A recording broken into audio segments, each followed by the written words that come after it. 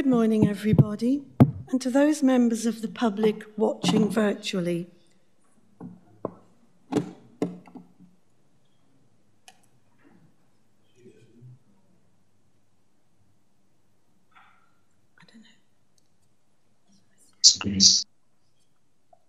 Right. Welcome to the Western.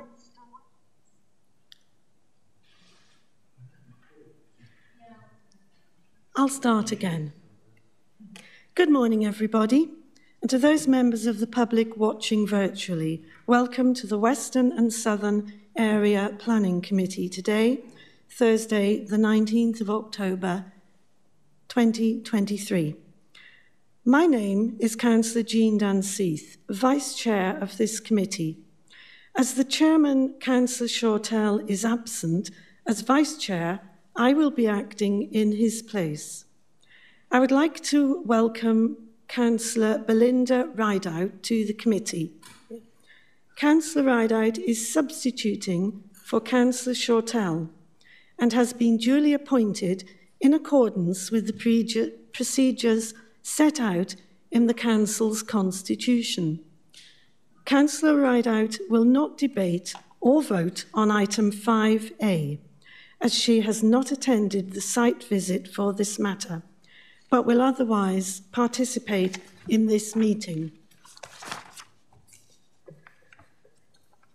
The Constitution does not expressly provide for the election of an acting vice chair when the Vice Chair steps up. Therefore, in order to help in the smooth running of the meeting, I have invited Councillor Ridout to come and sit beside me. She is not a Vice Chair of this committee, but has kindly agreed to help me, and she will be keeping an eye on timings and which member is next due to speak. This will apply to all items on the agenda. The planning meeting is not a public meeting, but a meeting to which the public are invited. All attendees must comply with the ruling of the chair. They must not interrupt the meeting or cause undue disturbance. To support this, can I ask that all switch off your mobile phones or put them on silent for the duration of the meeting?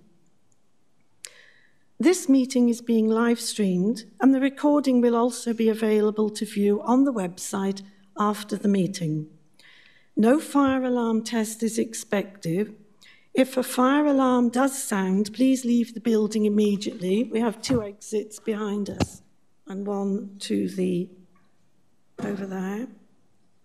And assemble at the nearest fire assembly point. Can I remind everyone that when you are speaking, can you please introduce yourself for the benefit of the public watching and speak directly into the microphones so that you can be clearly heard and seen?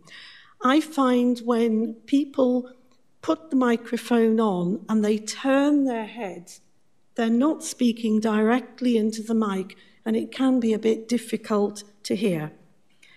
We have four applications to determine today. The case officer will be invited to present the report and recommendations. Next, I will invite members of the public who have registered to speak to address the committee. Each speaker has three minutes and it will be timed. Following which, the committee members will be given an opportunity to ask questions of the officers and debate the application.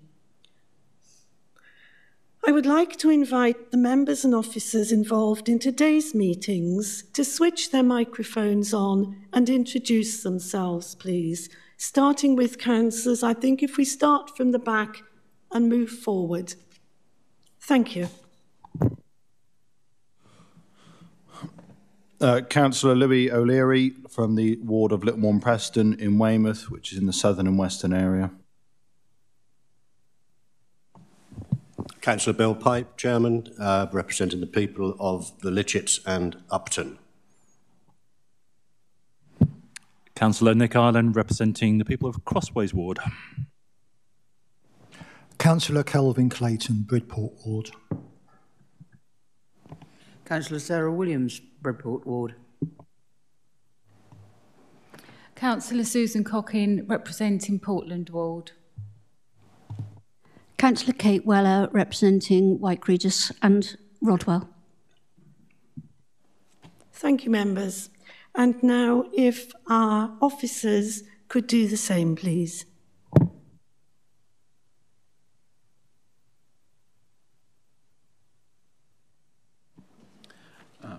Thank you, Chair. Tom Wild, uh, Senior Planning Officer, Western and Southern Team. Thank you, Chair. Uh, Joanne Language Merritt, uh, Planning Officer. Good morning, Chair. Charlotte Loveridge, Planning Officer, Western and Southern Area. Thank you. Thank you, Chair. Katrina Trevitt, Development Management Team Leader for the Southern and Western Area. Thank you for that. So, agenda item one apologies.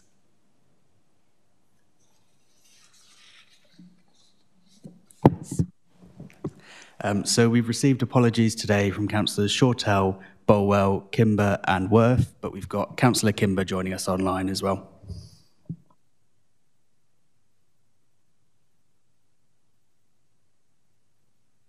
Sorry. Uh, we've also got Councillor Ridout joining us as a substitute for Councillor Shortell. Thank you, Josh.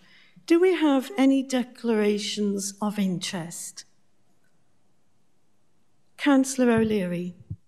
Uh, yes, on the item relating to Canberra Road in Littlemoor, um, I will not be participating or voting on that as the land is owned by my mum's cousin.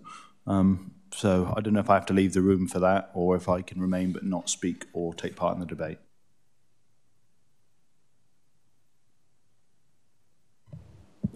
Thank you, Councillor O'Leary. Um, you will need to leave the room, um, though you may stay for the public speaking portion.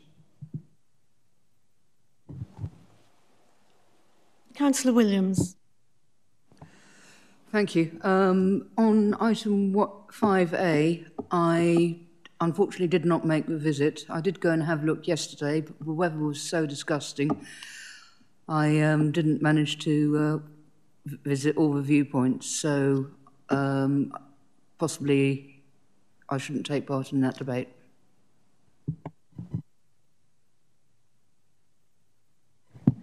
Thank you, Councillor Williams. You don't need to leave the room. We'll not be able to take part in the debate and not be able to vote on 5A. Thank you. Are there any other? Councillor Cocking.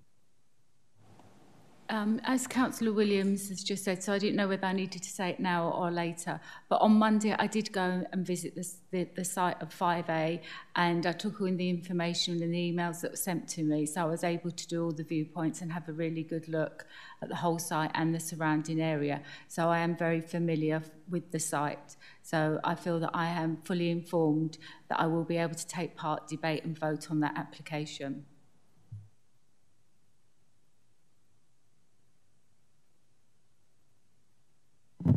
Thank you for that, Councillor Cocking. That's fine. Item number three, to agree and sign the minutes of the meeting held on the 7th of September. And I will, if you all agree, I will sign as chair. Are you content? Yeah? Okay, thank you.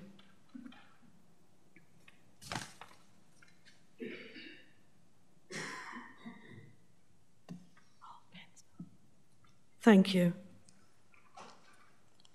Public item number four, public participation. Members of the public, and it's nice to see so many of you here today, who are registered to speak, you will be given the opportunity. You can either speak now and use your three minutes, or you can wait until the item has been presented by the case officer. Is there anyone that would like to speak now? You'd all prefer after the case officer's presentation. That's fine, thank you. We're now on to item five, planning applications. 5A is PFUL 2023 00384, Highlands End Holiday Park, Highlands End Eype, Eype, that's it, DT6 6AR. This application will be introduced by Case Officer Thomas Wild. Thank you, Thomas.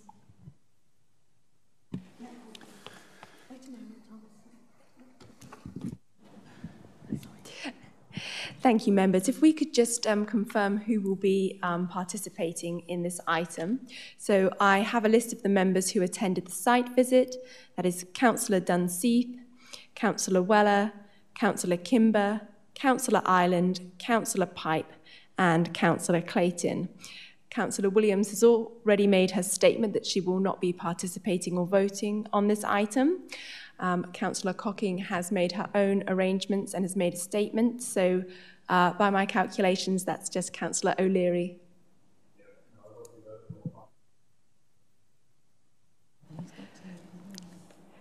Just for the benefit of um, our online viewers, uh, Councillor O'Leary will not be participating or voting on this matter.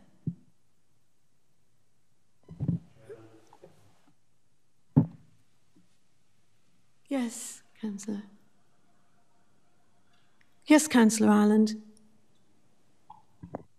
So, Job, uh, anybody listening might think that Councillor Kimber can take part, but he's not actually in the chamber, so I'm assuming he can't vote. It's probably worth clarifying that. Good point. Councillor Kimber cannot vote on this item. No.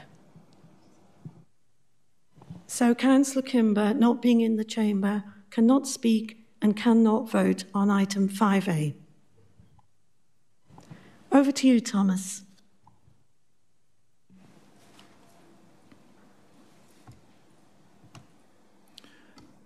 Thank you, Chair. Um, so the application is reference PFUL FUL 2023 00384.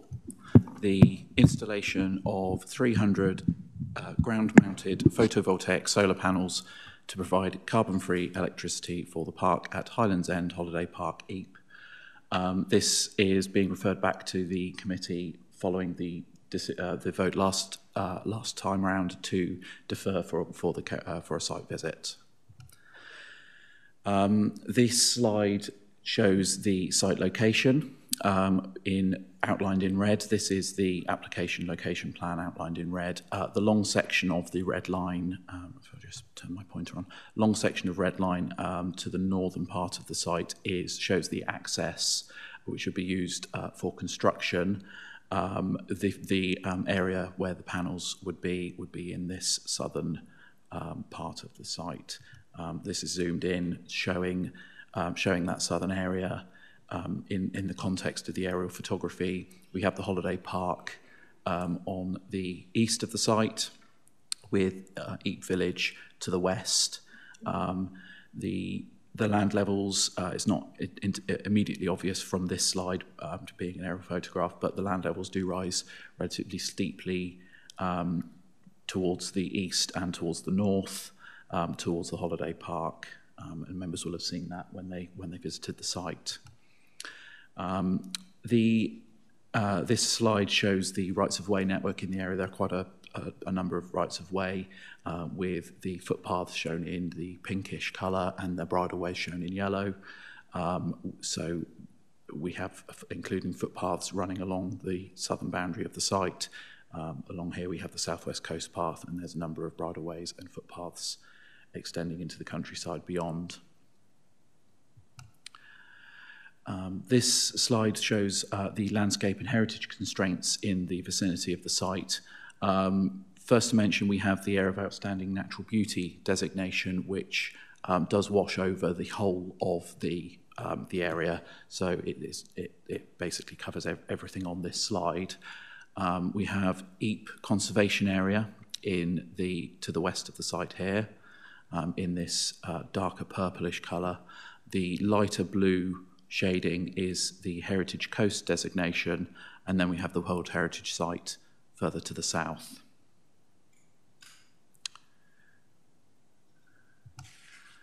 Um, the proposed development um, is comprised of 300 solar panels in seven tables they've been referred to. So each, each one of these blocks of panels is, is what's being referred to as a table.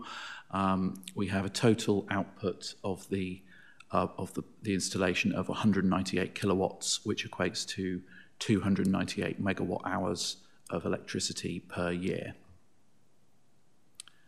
Um, and then just to um, oh, oh, just to point out on this, this this slide does show the contour lines for the um, for the, the land levels. So showing that the the site um, the installation straddles the 45 meter AOD line um, with the land levels rising to 50 55 meters and beyond to the north and east.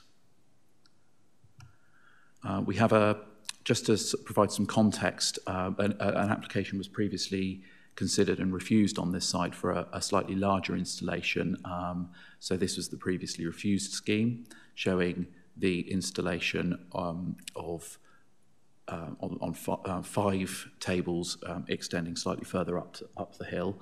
Uh, that was refused earlier on, on landscape and heritage grounds. Um, the slide we have here shows the um, proposed landscaping for the scheme. Um, that includes orchard planting, so that each, each green dot is indicative of a, an orchard tree, and then um, native hedgerow planting along this western boundary and along the southern boundary of the field. Um, just to note that the, um, the landscaping proposals do sit outside of the red line uh, boundary of the application, but are within the applicant's ownership and the blue line boundary. Uh, main issues um, to be considered um, as part of the proposals. Uh, we have the principle of development um, and the provision of renewable energy is supported by local and national policies. Um, policy COM10 of the, neighbor, um, of the local plan, CC4 of the neighbourhood plan, and paragraph 158 of the national planning policy frameworks. Um, these are considered to be public benefits um, in providing carbon-free electricity, um, and that is something that, that is afforded weight in the planning balance in light of the Council's declared climate emergency. Um, the, the, however, it is worth noting that the support provided by the policies is only insofar as the impacts of the development in other respects can be success, successfully mitigated or, or assimilated. Um, in respect of, of amenity uh, of neighbours, uh, officers' view is that it's not considered that there would be any harmful impacts of the proposals um, following installation. Um, the, the, the installation is a, a relatively low-key, low-intensity uh, impact. Um, the, the impacts are associated with the presence, not necessarily comings and goings, or there's, there's no potential for overlooking, etc. Um, and in terms of biodiversity, um, there, there has been a biodiversity plan agreed with the natural environment team, uh, which, which proposes um, biodiversity net gain across the site through the hedgerow creation and confirms that there would not be any harm to any protected species. Um, moving on to the um, more significant um, issues we, we, we're facing with this application. We, we're considering the landscape impacts. Um, as we've seen, the site is located within the area of outstanding natural beauty and the heritage coast. Um, and the proposal um, has been assessed as resulting in harmful impacts upon the landscape by landscape officers um, and the area of outstanding natural beauty team. Um, the, and the, um, it's considered that the submissions by the applicant have failed to, also failed to demonstrate that there are, aren't any, sorry, failed to demonstrate that there are not any alternative sites to that could deliver the development without leading to the same level of harm. There's a lot of negatives in that um, statement, but um, basically there's a level of doubt in, in the, in the um, submission as to whether the development could be achieved elsewhere without leading to the same level of harm. Um, and specifically, uh, just worth mentioning that the landscape officer has, has been critical of the, the applicant's submission in, in providing only one visualization of the scheme, um, which uh, considers a distant viewpoint, doesn't consider the, the closer viewpoints to the site, which would be more significantly affected. And those, those are some of the viewpoints that members will have seen um, during the, the site visit. Um, just covering the site visit, this is just a reminder for members of the viewpoints which we, which we looked at on the site. Um, the, the plan, uh, the red dotted line here shows the, the, the route that we walked uh, from the entrance to the holiday park through the holiday park, just pointing out the point of connection to, to the electrical grid for the park here. Um, down the southwest coast path, stopping um, at a couple of points at the, the southwest coast path and the, the car park before going back up through the village to these closer viewpoints on the, the footpath on the southern boundary of the site. Um, and then, then before going up to the, the longer range viewpoints at Downhouse Farm and then the viewpoints from the western um, side of the, of, of the village on the southwest coast path. Um, so just walking some photos, just just going through some of those viewpoints, just to remind members of, of what will have, will have been seen on the site. The, this photo is from the southern boundary um, of the site along the footpath, um, showing the, the, um, the, the fields in which the, the, the panels will be installed uh, in this part of the site here. The panels will be installed in the, the bottom part of the site, so relatively close to this, this fence line. Um, and then would extend. There's a there's a it's not really visible on this this image, but there is a uh, a, fen- a, a post and rail, a post and wire fence which which cross which separates the field, and and the the panels would be located this side of the fence. Um, this is looking back in the opposite direction. You can see that the post and wire fence referred to there. Again, the panels located in this this part of the site here, um, and with with the proposed landscaping either side with, with hedgerows there.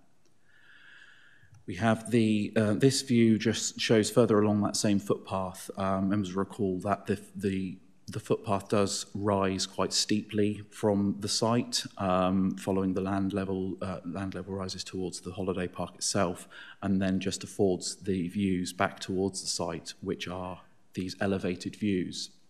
And I think this just um, illustrates the concerns over mitigating the landscape impacts from these, these closer range viewpoints, given that the views avail are available from elevated positions. So any views are, are down onto the, the panels rather than across the landscape, uh, where, where mitigation planting is more effective. Uh, and again, this just shows that elevated viewpoint looking back. Um, we, we have some screening here with, with some, some tree planting that has been carried out, but members will recall um, there is a viewpoint a, a few paces um, to the right of the, the, this vantage point, which, um, which provides a much clearer view of the site. Um, and again, illustrating the, the difficulty of, of mitigating the, um, the views from those locations. Uh, we have the, um, this is the view from the southwest coast path um, back towards the site. Again, we have the, the holiday park on the, the top of the hill here. The field um, in the set behind the chalets, and then the, the installation will be at the bottom end of the field. Um, it's noted at this point, uh, there's, there's screening, some screening is provided by the tree line at the bottom of the field. It's just worth noting that the trees that provide that screening are outside of the application site, um, and they're also outside of the applicant's ownership, um, as indicated through the application. So they're, the, that those can't be controlled through the through the application. Um, this is the longer range viewpoint that we picked up from Downhouse Farm. We have the um, again the holiday park on the the the ridge line here, the field where the panels will be located in the middle distance, um, and then Eype Village just in just sitting slightly above where we have this um, Shepherd's Hut uh, in this location. So again, the the um, the panels will be at the bottom end, edge of the field, and I think we, we observed on site that um, the, the top edge of the, the installation would be visible in this longer range viewpoint. Um, and this is just an alternative view of, of a, the similar vantage point from Downhouse Lane. Once again, we have the um, the, the, the holiday park at the, the, the ridge, the field, and the, the point of the installation at the bottom here. Um, and just wanted to cover off the point about the um, the alternate the, the provision of alternative sites and consideration of those. Um, the applicant submissions um, considered uh, an alternative site uh, which is outlined in blue on this uh, plan, which is referred to as Site B, with the application site Site A in red. Um, the, the alternative site was discounted primarily on the basis of its, um, its land, land levels falling away to the north um, and also difficulties in cable routing to, to, con to connect into the, the site's grid. Um, however, it's not, it wasn't considered to be clear from the submissions how, how the two options were arrived at, um, given the quite extensive land holding available. Um, there is also the, the point that the, the constraints um, to which the, the, the two sites are, are subject. Um, the application site, as we've seen previously, it's, it is close to the conservation area.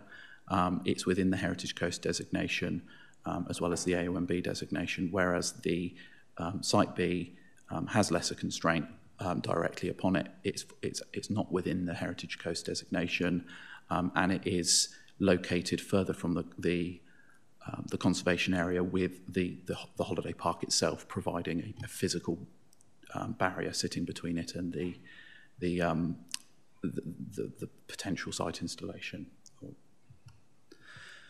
Um, the location adjacent to the um, the conservation area requires then therefore also consideration to be given to conservation and heritage impacts. Um, and as submitted, it is considered that the proposals are um, considered to cause less than substantial harm to the setting of the Eype conservation area.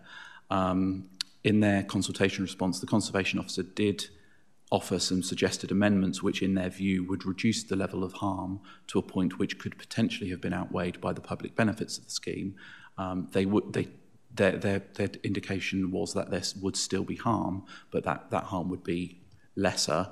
Um, and and that, those changes would have involved the removal of the top row of panels and specifying panels with low ref reflectivity and black surrounds. Um, however, given the um, councillors' findings, uh, sorry, officers' findings in respect of the landscape impacts and visual impacts of the scheme, um, amend amendments were not sought in this in this instance. Um, that leads us on to the planning balance, uh, which we have to consider. We have um, the benefits of the scheme, uh, principally the provision of the renewable energy um, that the scheme would provide and the associated reduction in CO2 emissions. As I said, we, we, can, afford, we can afford that weight as a public benefit, given that the, the Council has declared a uh, climate emergency. Um, uh, however, these, need, these do need to be weighed against the, um, the harm that has been identified. We have the less than substantial harm to the setting of the Eype conservation area, which um, there is a, a statutory requirement um, for uh, regard to be, to be had to the, the um, desirability of preserving and enhancing that conservation area, um, and national policy indicates that great weight should be given to its conservation, um, and also um, the harmful impacts on the landscape and special character of the Dorset area of outstanding natural beauty um, and the West Dorset Heritage Coast, which, um, as, as we've heard, uh, we don't consider that those impacts can be adequately mitigated on this site. Um, and also, it's not been adequately demonstrated that there are no alternative sites to accommodate the installation in a way that would have lesser impact on these, um, these designated designations. Um, therefore, uh, officer's recommendation is that the committee is, uh, refuses planning permission for the reasons which are set out on screen, um, which are uh, reason one relates to the uh, landscape impacts of the development on the area of outstanding natural beauty, and reason number two relates to the uh, impacts upon the Eype conservation area and less than substantial harm that would be caused. Thank you, Chair. That concludes that. Thank you, Thomas. And now we come to public speakers. Do we have Emma Froy? You're here. Right. You have three minutes. Thank you. Good morning.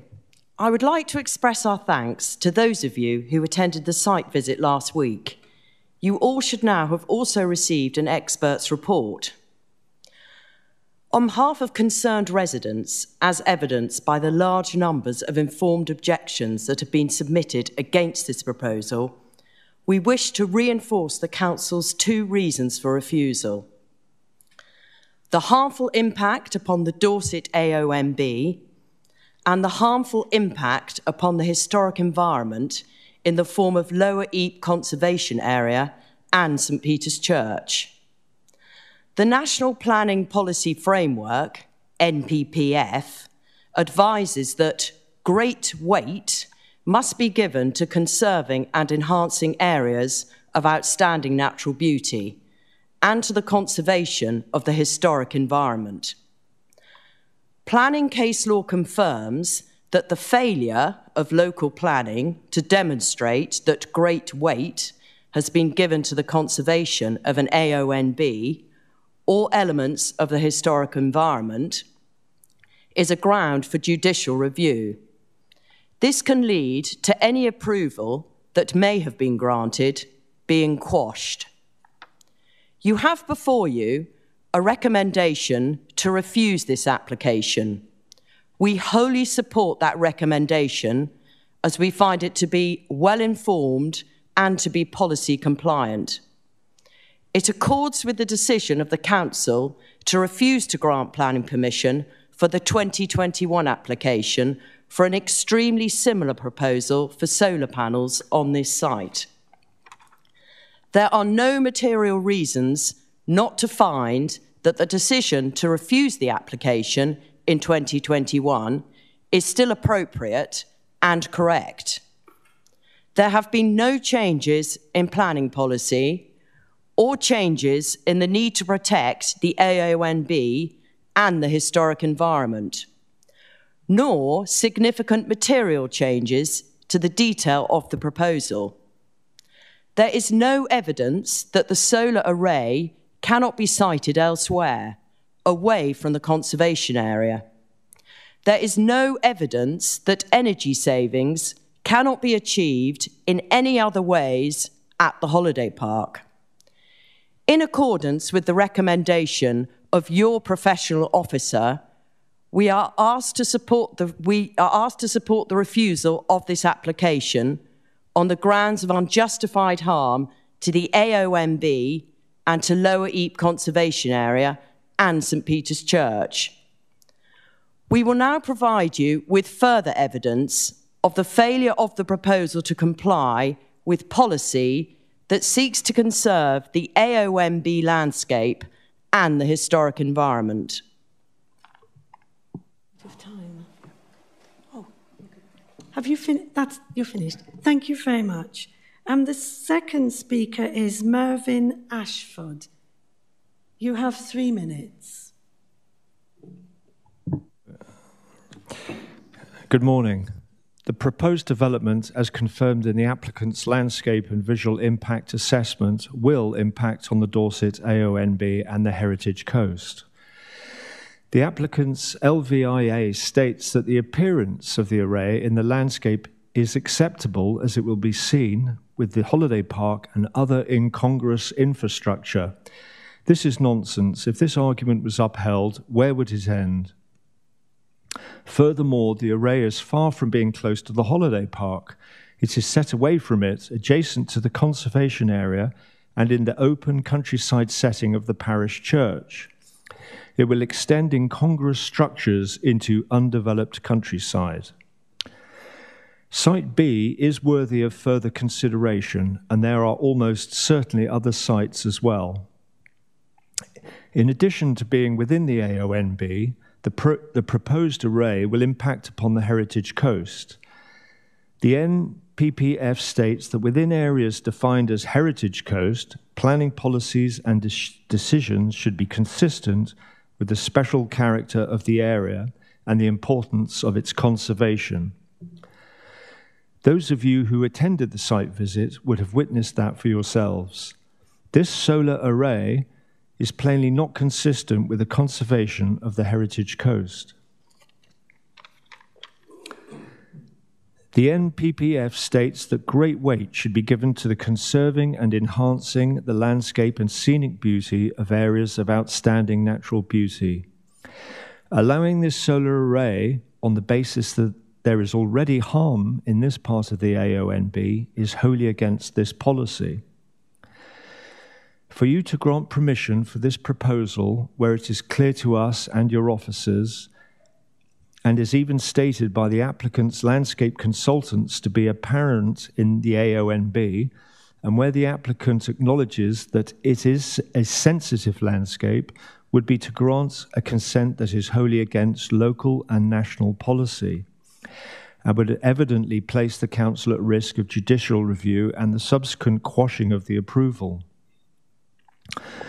We encourage you to appreciate the clear evidence against this application and to support the recommendation of your professional planning officers to refuse this application as you did correctly in 2021. Thank you.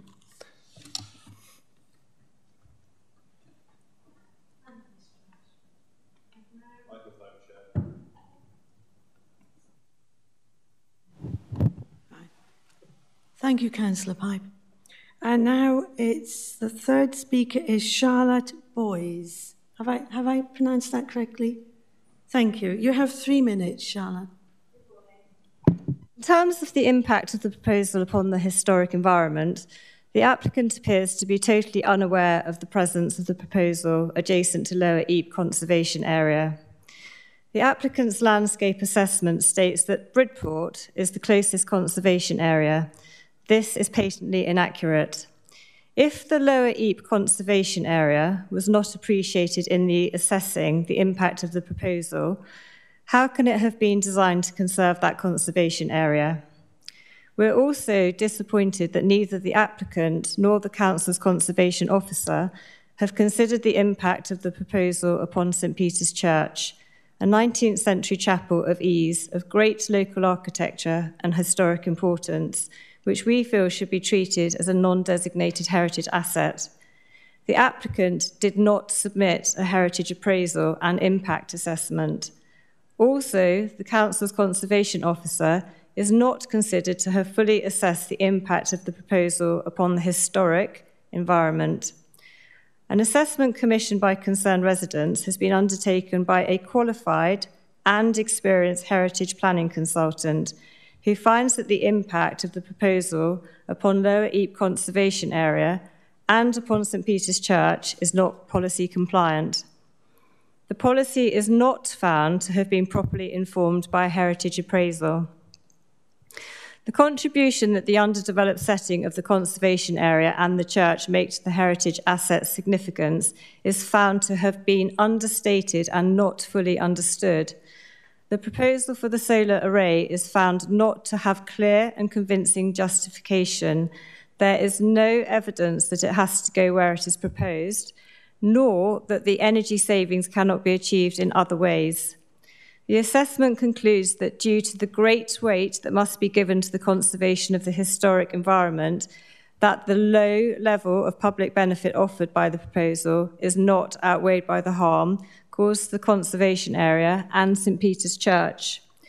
Planning case law in the Forge Field case against Sevenoaks Council, who had approved an affordable housing application in a conservation area and was quashed at a judicial review due to the council not having consciously made a presumption in favour of the conservation of the historic environment your officers have rightly stated that the need to conserve the historic environment is greater than the need to provide this solar array, and we're therefore encouraging you to support the informed and correct recommendation of your professional officers and to determine the application in accordance with local and national planning policy and please to refuse this application.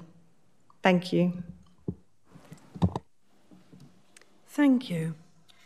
We now have Mr. Carthy and Cox to speak. You have three minutes between you. Thank you. Thank you, Chairman. Um, also, thank you to the members for taking the time to carry out a site inspection and give themselves the opportunity to assess the various viewpoints, the likely impact on the AONB, and perhaps agree that we have proposed the most inconspicuous location for the panels to give a practical and effective connection to the existing transformer. While the coastal path with spectacular views remain unaffected, we acknowledge that users of the adjacent footpaths will initially have a view of the panels, but in mitigation, new screen hedging is proposed together with orchard planting. These two paths are functional, providing access rather than views, and the installation will show that we are investing to make the, the, the business sustainable to achieve the government's objective of net zero. Listening to the landscapes officer's comments, we omitted new fences and hedging across the arrays. To overcome this, we were prepared to re-establish an historical hedgerow to provide screening and increase wildlife habitat and biodiversity.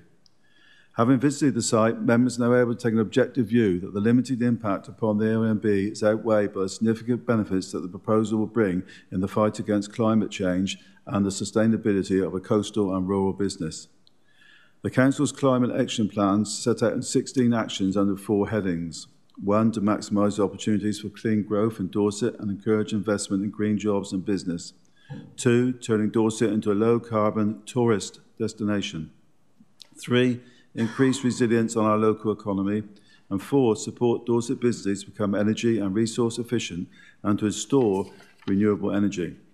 Our proposal is in line with these objectives and taking a carbon saving of 47,000 kilograms annually and bringing our business closer to net zero. Surely there can be few doubters now that the serious action is required to limit climate change after worldwide extreme flooding, wildfires, record high temperatures, reducing sea ice and disappearing glaciers.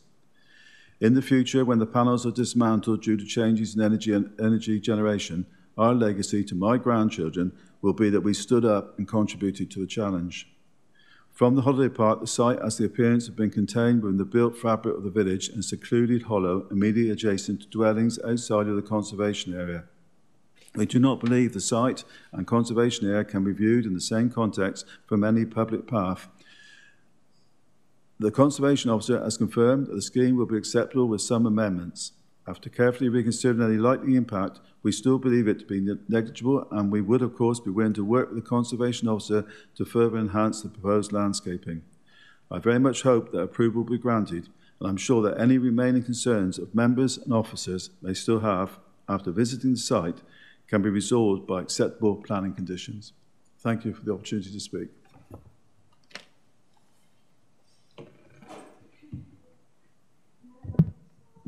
The planning officer to respond to any comments made by the speakers.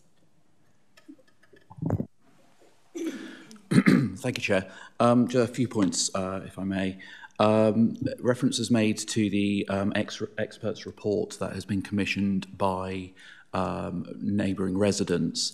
Uh, that was submitted to the council on late on Tuesday and should have been circulated to members with the update sheet when it came around yesterday. So hopefully members have had a had a chance to review that.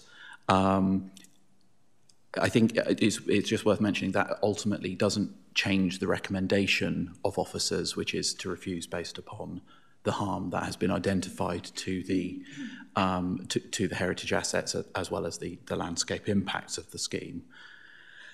Um, so it, it ultimately, while, while that provides additional um, commentary and context in, in respect of the, the, the, the proposals, it doesn't change the, um, the overall recommendation.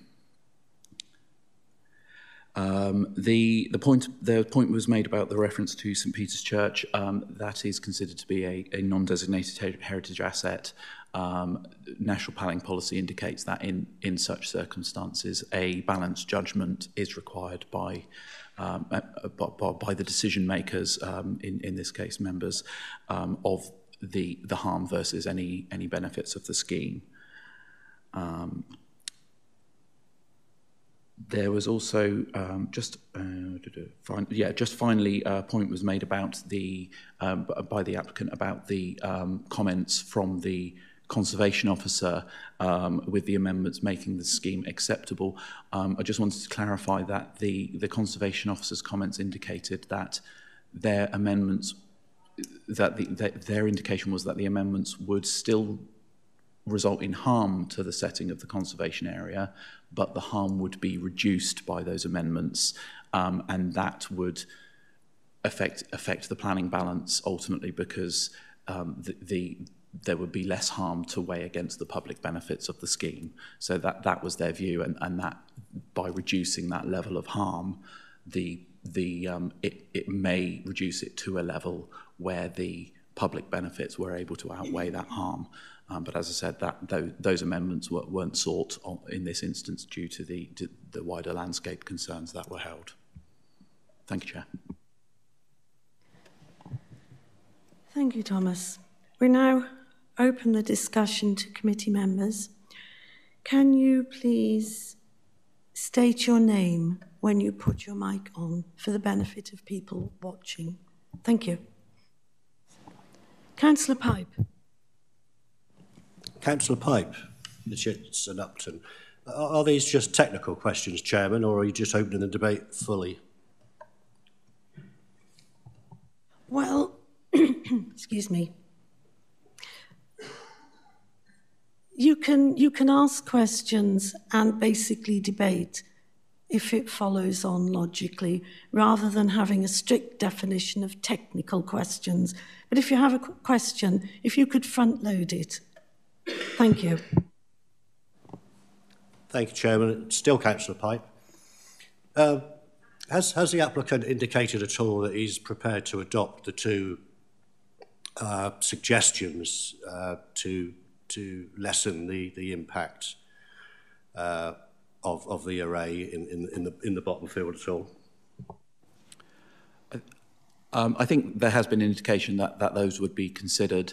Um, I think I'm right in saying that, but uh, as I said, the, this, the we haven't we haven't invited the submission of those because of those wider landscape impacts and the the, the ongoing view that the ultimately the landscape impacts of the scheme can't be adequately mitigated in this instance. Are you content with that, Councillor Pipe? Councillor Ireland. Yeah, thank you. I've got a couple of questions. That's probably easier just to take each one as I say them, I guess. Um, I'm just, I'd like to a bit more definition of what the Heritage Coast designation is. It, it seems to be in, lumped in with AONB, but obviously isn't the same, or is it the same, or what, what, what basically are the limitations associated with Heritage Coast as opposed to AONB? So. Uh, it, it's an additional um, designation which applies to the, the coastal areas, the undeveloped coastal areas um, to the south south of, of um, Dorset, uh, and the qualities that are associated with it are, are its undeveloped nature, effectively. So it is it is a an additional designation as well as the the AONB designation.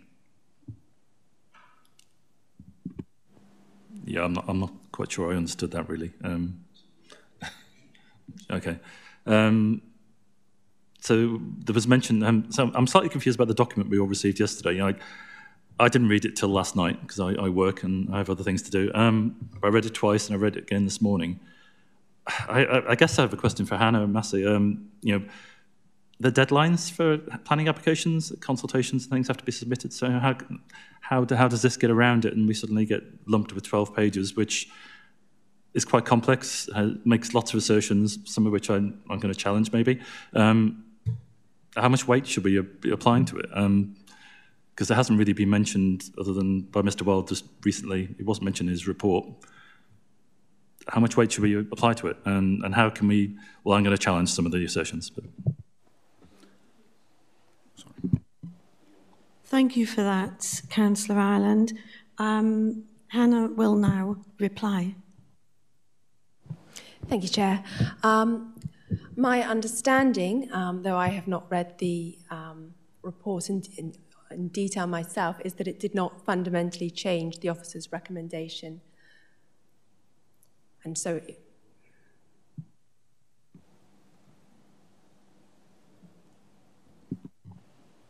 Are you happy with that, Councillor Ireland? Are you content? Or would you like?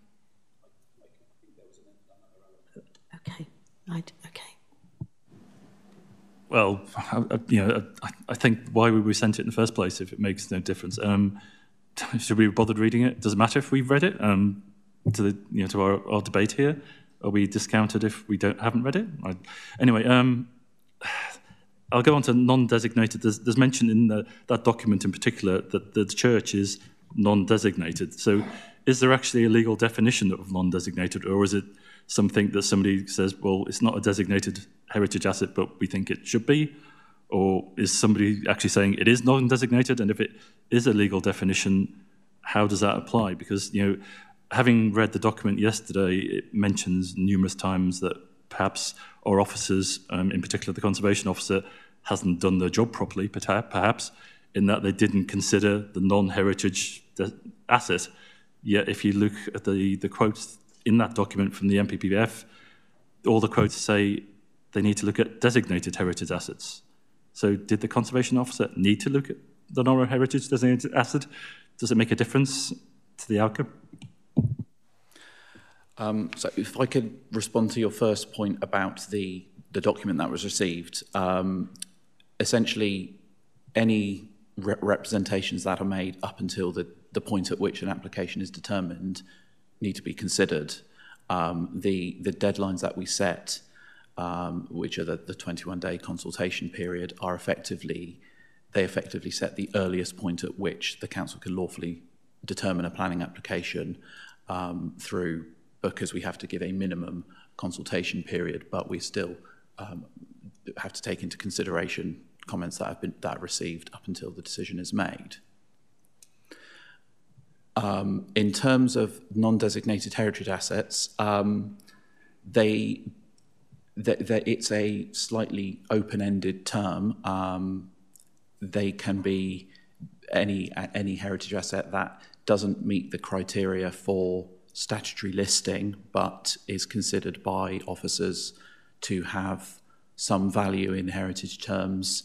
Um, they, there isn't a list of them as such um, because the, by their very nature they are non-designated, so they, they, they, they don't have that, that nature. But um, in, in this case, the church is, is recognised. It, it's within the conservation area, and it's, the conservation area boundaries are specifically drawn to include the church. Um, so, so it is considered a, a non-designated heritage asset on, on that basis. So what you just said is that Dorset Council considers the church as a non-designated heritage asset in this example. Okay, um, and I'd just like to comment on the, the surprising news that we can anybody can put in comments against a planning application anytime, any place, anywhere. Um, as a parish councillor, I know my parish council struggles sometimes to meet the deadlines. So I guess we can potentially risk missing them, and you'll still consider the, the consultations. Is that correct? Yeah.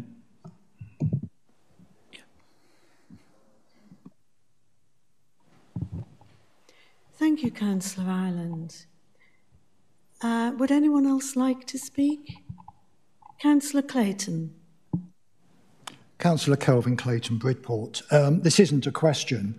It's me trying to get my thoughts clear on this. Every time we have to do with this assessment of harm, I struggle because there is such a high degree of subjectivity involved.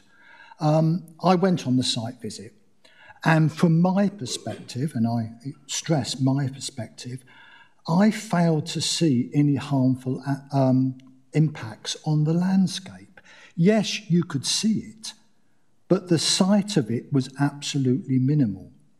Um, coupled with that, I'm, I'm also conscious that we had some training a couple of weeks back from Heritage Inspectorate. And I've got a quote here. He said, and you can afford to be quite generous in your definition of public benefit. Again, a very subjective balance between harm and public benefit. So, from my perspective, I think the benefits of uh, renewable energy generation against the absolute, to my perspective, minimal impact on the uh, visual aspect, um, I think I'm inclined to to be in favour of um, approving the application. Thank you, Councillor Clayton. Is that a proposal?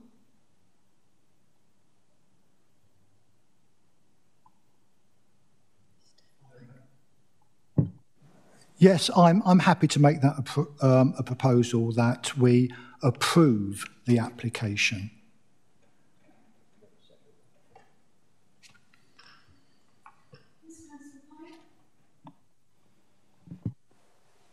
Uh, Councillor Pipe, the Lytchetts and Upton, I'm quite happy to second that, Chairman.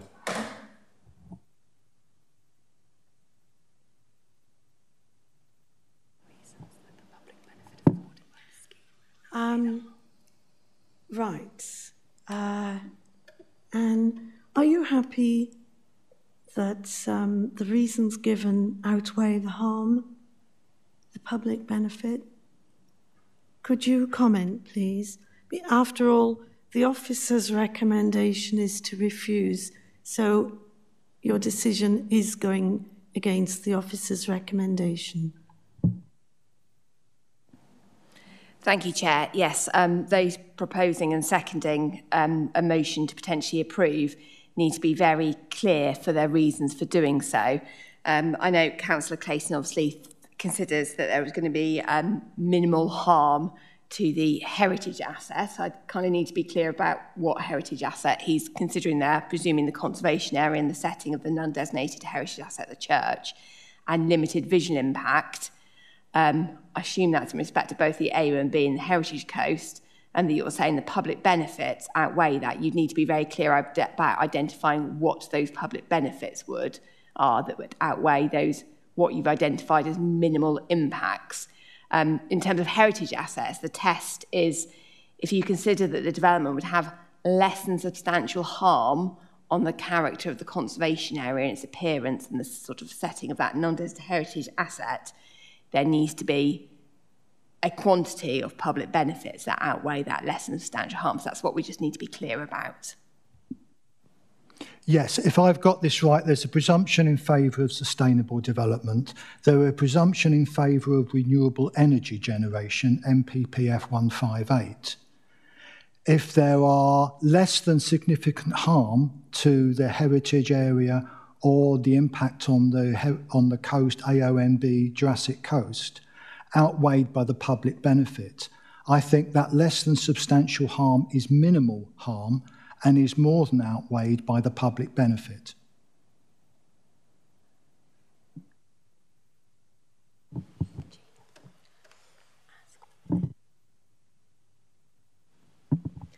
Um, would you need some time to prepare conditions? Yes, you would. Thank you. So we're going to have to adjourn now for 10 minutes. So we're going to adjourn. Thank you.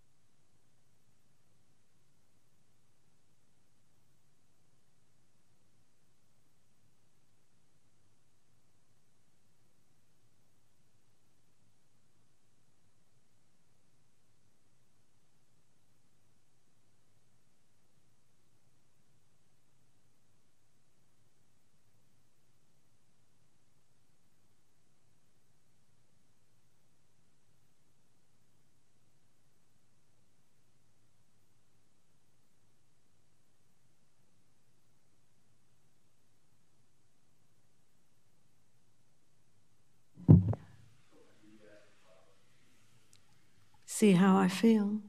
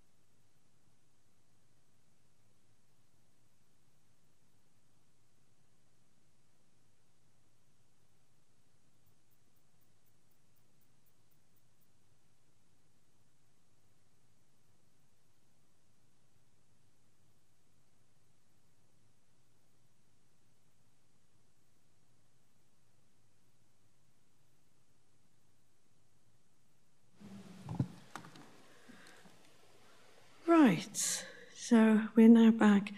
Um, and could you go through the wording that you've come up with, please? Thank you, Chair. Um, yes, so it would be to delegate authority to the head of planning and service manager for development management and enforcement to grant planning permission subject to planning conditions the wording of which will have first been agreed by the Vice Chair, who is acting as Chair today, in accordance with the following matters to be conditioned. So the first condition will be our standard um, three-year condition we have to put on any plan permission for implementation within three years. There would be then be the approved plans list condition, where we would list the plan numbers out in full, etc.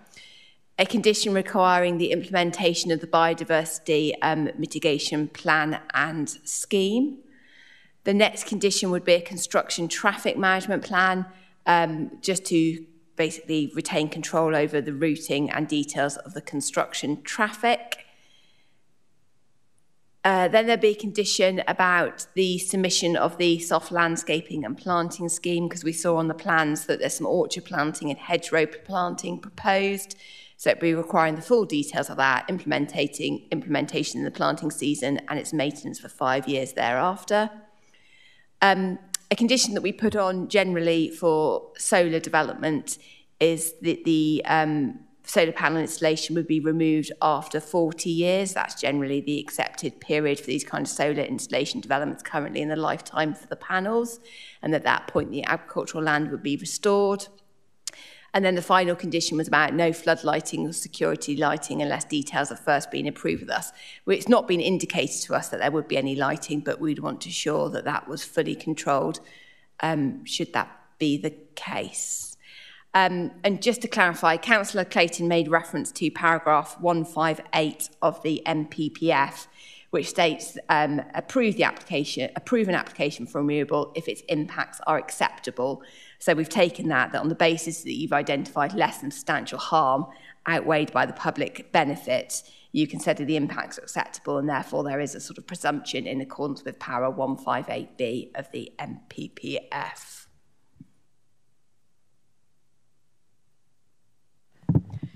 Councillor Clayton, are you happy with those form of words? Yes, Chair, I am. Thank you. Councillor Pipe, are you content? Right, thank you. We have a proposal and it has been seconded, but we still have uh, members who wish to speak. So I think we have Councillor Ireland and then after Councillor Wheller. Councillor Yeah, thank you, Chairman. Nick Ireland, Crossways. Um, I'd like to thank the officers for the, the site visit because I found it really, really useful. Um, and you know, when I got home, you know, I, I, I basically couldn't find any, in my own mind, in my view, any harm at all. Um, I, I've run along that coast quite a bit. I walk along it occasionally. Um, and when we were at the viewpoint, I was thinking, you know, would I even notice it? And the answer was no. I, you know, I'm afraid the, the obvious thing that you notice is the holiday park, um, and there's absolutely obviously nothing they can do about that. Um, that's a, that's a history. So I, I didn't see any harm at all, and I agree with my colleague Councillor Clayton that you know it, it seems per, fairly acceptable to me. It's not in the conservation area. You literally couldn't see it anywhere unless you were walking on the path next to it. And I guess with the the soft planting, when you go up slightly towards the, the holiday palm and turn it back, you probably won't see it again much there so I, I agree with his proposal, and um, I guess we keep mentioning AONB, but we've approved solar panels in AONB before. A lot of Dorset is AONB, um, and you could argue that you know it's, it's not being destroyed; um, it's going to be restored. It's temporary, and you know you could argue almost some some way the land is actually being preserved; it's not being destroyed for anything else. It, it's under panels, um, so I'm going to support this proposal. Thank you, Councillor Ireland. Councillor Wheller. Uh, thank you very much, Chairman. I don't want to spin this out particularly now, um, but I would just like to say that um, I believe there has been significant change from the previous applications. Um, one of the objectors said that there wasn't any change, but there is. Um, in the intervening years, uh, the, we've had rising concerns on climate change, and we have declared a climate emergency. If we mean that seriously, we have to regard that seriously. Um, like my colleagues, I couldn't see the site from the heritage path. I couldn't see any significant harm personally. Um, and I thank the officers for rewording that. I, I think they've done a, a, very good job with that, and I, I would be supporting. Councillor Wheller. Thank you, Councillor Wheller. Councillor Cocking, do you have any comments or anything you'd like to say as you have done the site visit?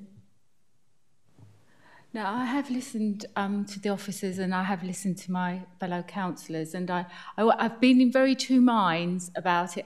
But now that I've actually seen the conditions, because some of it was I was worried about the landscaping and the hedgerow and everything like that, Um, and, um, and I did go and visit it, and it is very beautiful. But as other councillors said, we, you know, we are trying to make renewable energies um, a forefront for the council. Um, and now with those new conditions on it, I, I would be happy to support um, the acceptance of the application. Thank you, Councillor Cocking. So we have a proposer, we have a seconder. Do councillors have any other comments they would like to make? Are we ready for the vote? Are you content with, with the um, recommendation as it now stands, complete with its conditions? Yeah. Oh, wait a minute. Um,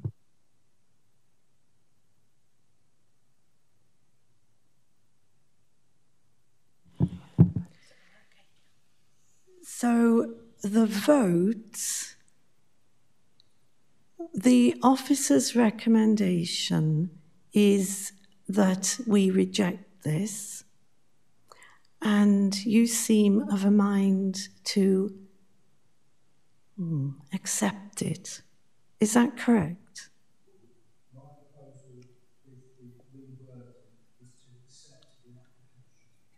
Right, that's fine. So if we could go to the vote then, all those in favour of the reworded recommendation to accept.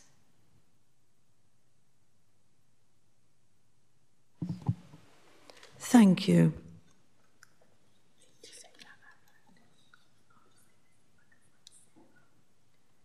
So the vote has just been taken, and it was unanimous to accept the proposal to let the solar arrays go ahead and rejecting the original officer's recommendation to refuse.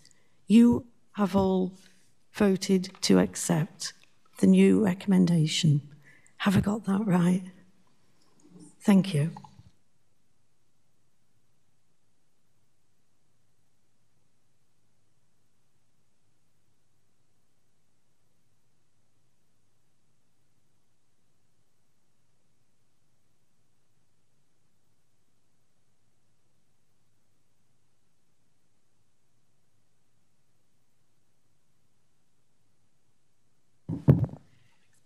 We'll just allow a few moments for change of officers and public speakers.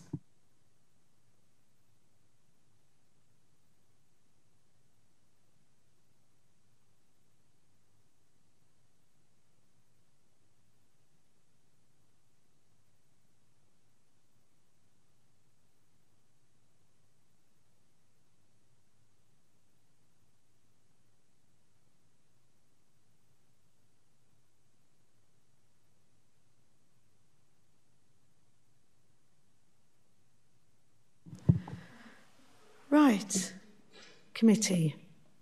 Item 5B, PRES stroke 2023 stroke 03059, land to the rear of 34, 36A Canberra Road, Weymouth. And the officer introducing it is will be Joe Langrish Merritt. Over to you, Joe. Thank you. Thank you, Chair. Um, the application is P forward slash RES forward slash 2023 forward slash 03059. Now, before I start my presentation, I'd just like to make members aware that we received an amended plan after the committee reports had been prepared, and I'll be sharing this with you today. Um, it has been circulated as part of the updates. Um, there were only very minor changes to the plan, um, such as cycle parking, tactile paving, and the details of the materials had been added. However, I'll explain it as I go through my presentation, and I have reflected the amended plans in the wording of the conditions at the end.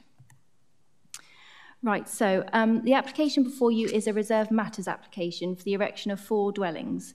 Uh, the outline application was approved in 2020, where the access, scale, and layout were considered and approved.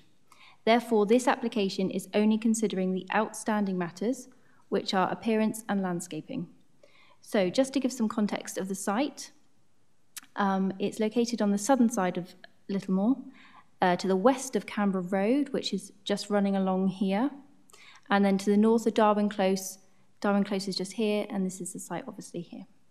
It's currently an overgrown piece of vacant land. Uh, the land is landlocked, as you can see here, on three sides by existing housing.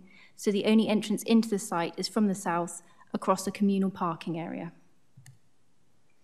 Um, because the amended plan is so large, I've broken it down and I'll be um, showing it in more detail over the next five slides. The layout um, that was approved at the outline stage was the four dwellings, which you can see here, orientated in this east-west formation. They've also been slightly staggered, which picks up on the formation of the other um, dwellings in the surrounding streets. The properties all have rear gardens with some areas for planting at the front. Um, in relation to the layout and access, we received some comments from the highways team on this current application regarding the, the cycle provision and inclusive mobility. As this was the Reserve Matters application, we are unable to condition these issues. However, the agent has provided this amended plan, uh, which has included the cycle parking for each property. Um, they've also changed the access, so the cycle parking is uh, the cycle parking for each property here. They have also changed the access for each of the properties. We've got low gradient steps here and here, and these two um, accesses are um, ramped accesses. They've also included this tactile paving so that people with um, visual impairment would be able to um, navigate the, the site more easily.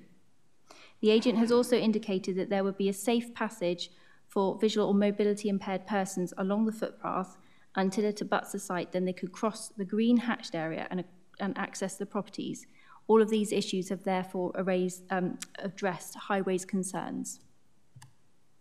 So we'll just move on to some ground floor and first floor plans. You... Oh. Um, sorry, I think Councillor Pipe.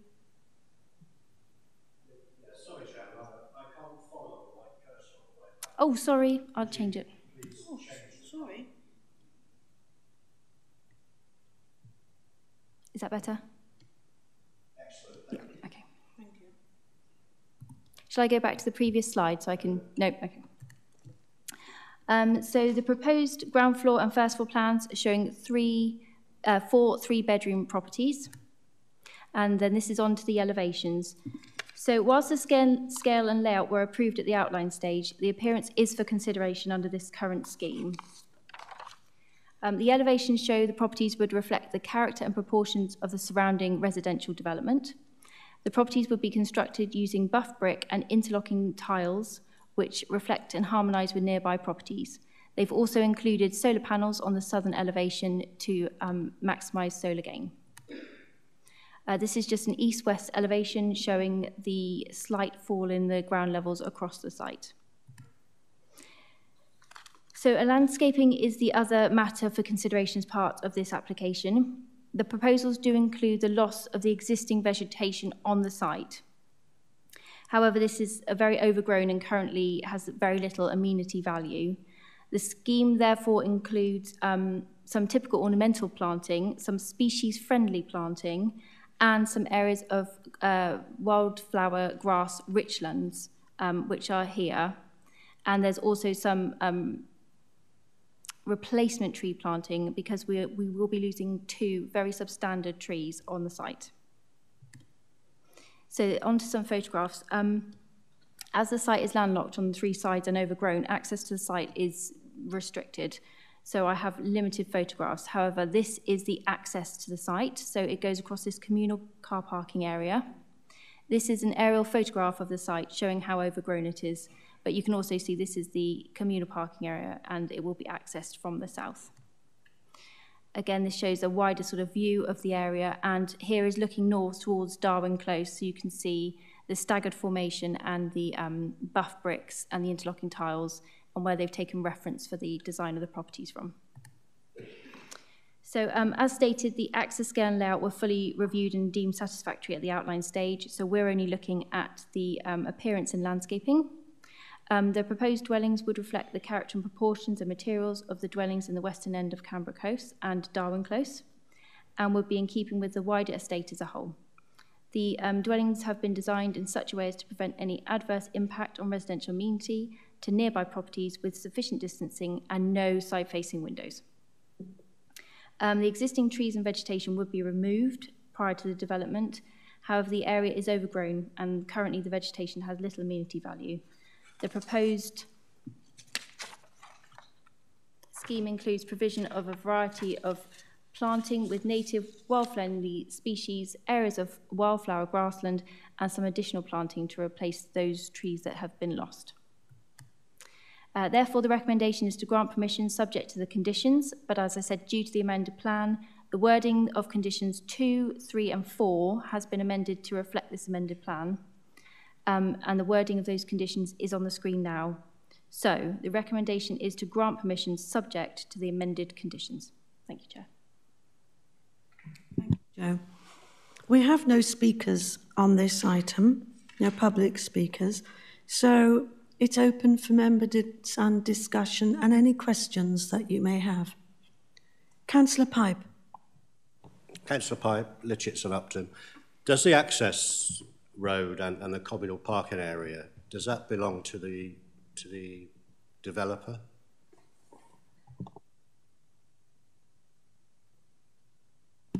It falls within the red line. Um, they haven't, um, we're not, the, the area is a communal parking area and it falls within the red line, so there would be access across it. Councillor Pipe. So, there, so there's likely to be no, no problem gaining access uh, once these dwellings are, are up here? Uh, yeah, Chair, thank you. Um, I understand you might be concerned, but we're not actually here to consider access. We can literally only consider the appearance and the landscaping because the principle of the development, its access, its siting and its scale have already all been approved. So we can only consider appearance and landscaping.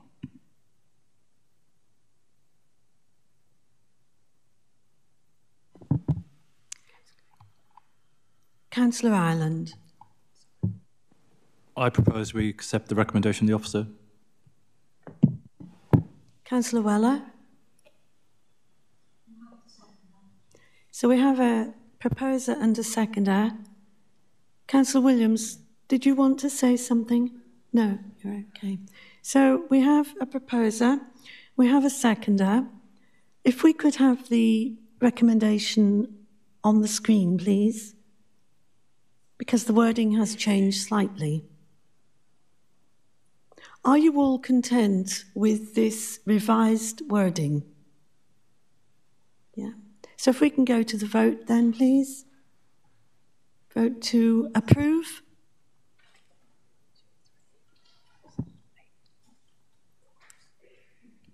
So committee have voted to approve this recommendation and plan. Thank you. We'll now move on to item 5C, which is item number P stroke FUL stroke 2023 stroke 01319, Bonscombe Farm, Bonscombe Lake Lane, Shipton Gorge, Dorset, DT6 4LJ. And this is going to be introduced by Charlotte Loveridge. Thank you, Charlotte.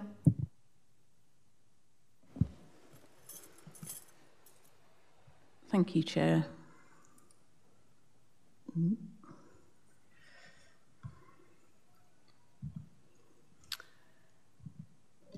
Okay, as um, already mentioned, this is for Bonscombe Farm, Bonscombe Lane at Shipton Gorge in Dorset for the conversion and change of use of an existing agricultural building to holiday let accommodation.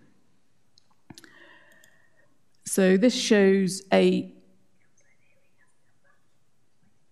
Okay. Should we wait for Councillor Leary to return to the chamber because we need to hear the full presentation? We'll stop a moment.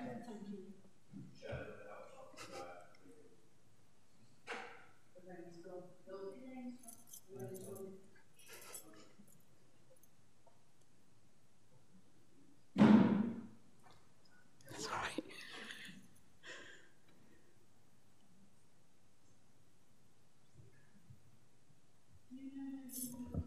Councillor Pipe. Okay.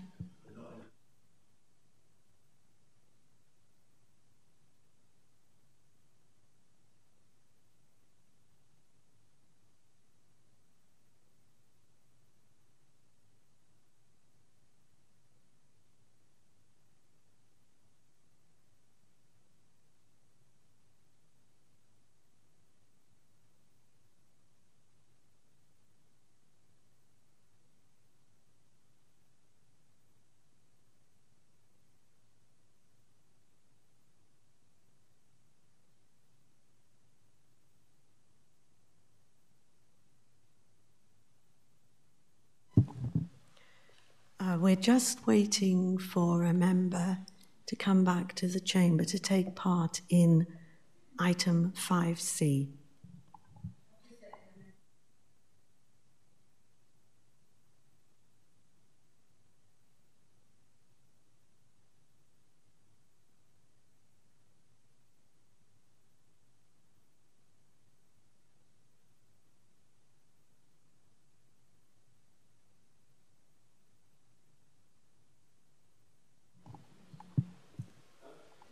If I can remind members, we are still live.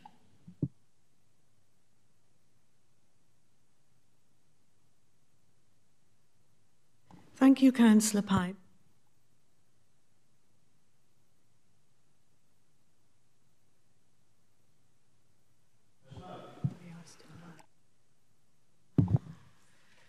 Okay, Councillor Leary is now back in the chamber and if we could start the presentation again, Charlotte. Thank you. Thank you. Okay, so this is an application for Bonscombe Farm, Bonscombe Lane in Shipton Gorge in Dorset for the conversion of a change of use of an existing agricultural building to holiday let accommodation.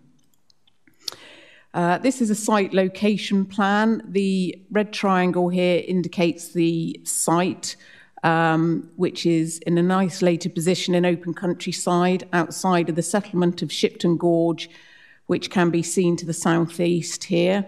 Walditch um, settlement is further to the northwest, and um, the settle uh, the holding that um, the barn belongs to is Bonscombe Farm, where the main house and additional buildings are just here to the northeast of the site. This is um, the site plan of the uh, proposed piggery conversion. It shows the access track which would come in from uh, one of the lanes from Shipton Gorge. Uh, the access track has been uh, granted through a, an agricultural prior approval notification in 2020, which also includes the erection of an agricultural building on the hard standing area directly um, forward of the piggery building. Uh, both the track and the agricultural building have yet to be constructed. Um, and it's understood that if the, this application is approved, then they may try, um, uh, they may decide to try and resite the agricultural building. This shows an aerial view of the site, um, which again gives um, a sense of its isolation. The building sits on a level area of ground um, where the land gently slopes away to the northeast out to an open vista with views towards Eggardon Hill, uh, which is just under four miles away. The site is surrounded by agricultural land. Um, as I say, the closest, uh, the edge of development in Shipton Gorge is uh, the close known as Rockway, um, about half a kilometre to the east. Uh, you can also see the strip lynchets um, just to the north of the site here. Uh, this is a closer view of the site, which was um, Google Earth says was in June of this year. This is the building in question here. This is the hard standing where there was previously a building and is the proposed site for the agricultural building under the prior notification. The site is within the Dorset AONB. It's within the Powerstock Hills landscape character area, which um, is noted for having an undeveloped character with impressive views from largely open hilltops um, and is associated with tranquility, remoteness, and dark night skies. The site is bounded by um, mature hedgerows um, and some trees on uh, mature trees uh, close to it.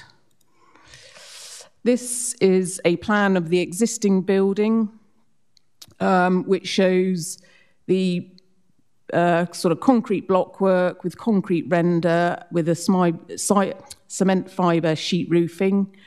Um, uh, the footprint is apo- approximately 5 metre by 19.5 metres um, and is probably about 50 years old, mid 20th century. These are photos of the existing building. Um, it's not considered to be of any particular visual merit. Um, it's not a traditional vernacular stone farm building um, that the area can be known for. The structural report for the building um, has stated that it is capable of conversion, although there's no details as to whether there's actually any foundations um, or what the details of the foundations of the building are. Um, as I say, not of any architectural or historical merit. Um, and these show other views um, from the southwest and northwestern end of the building.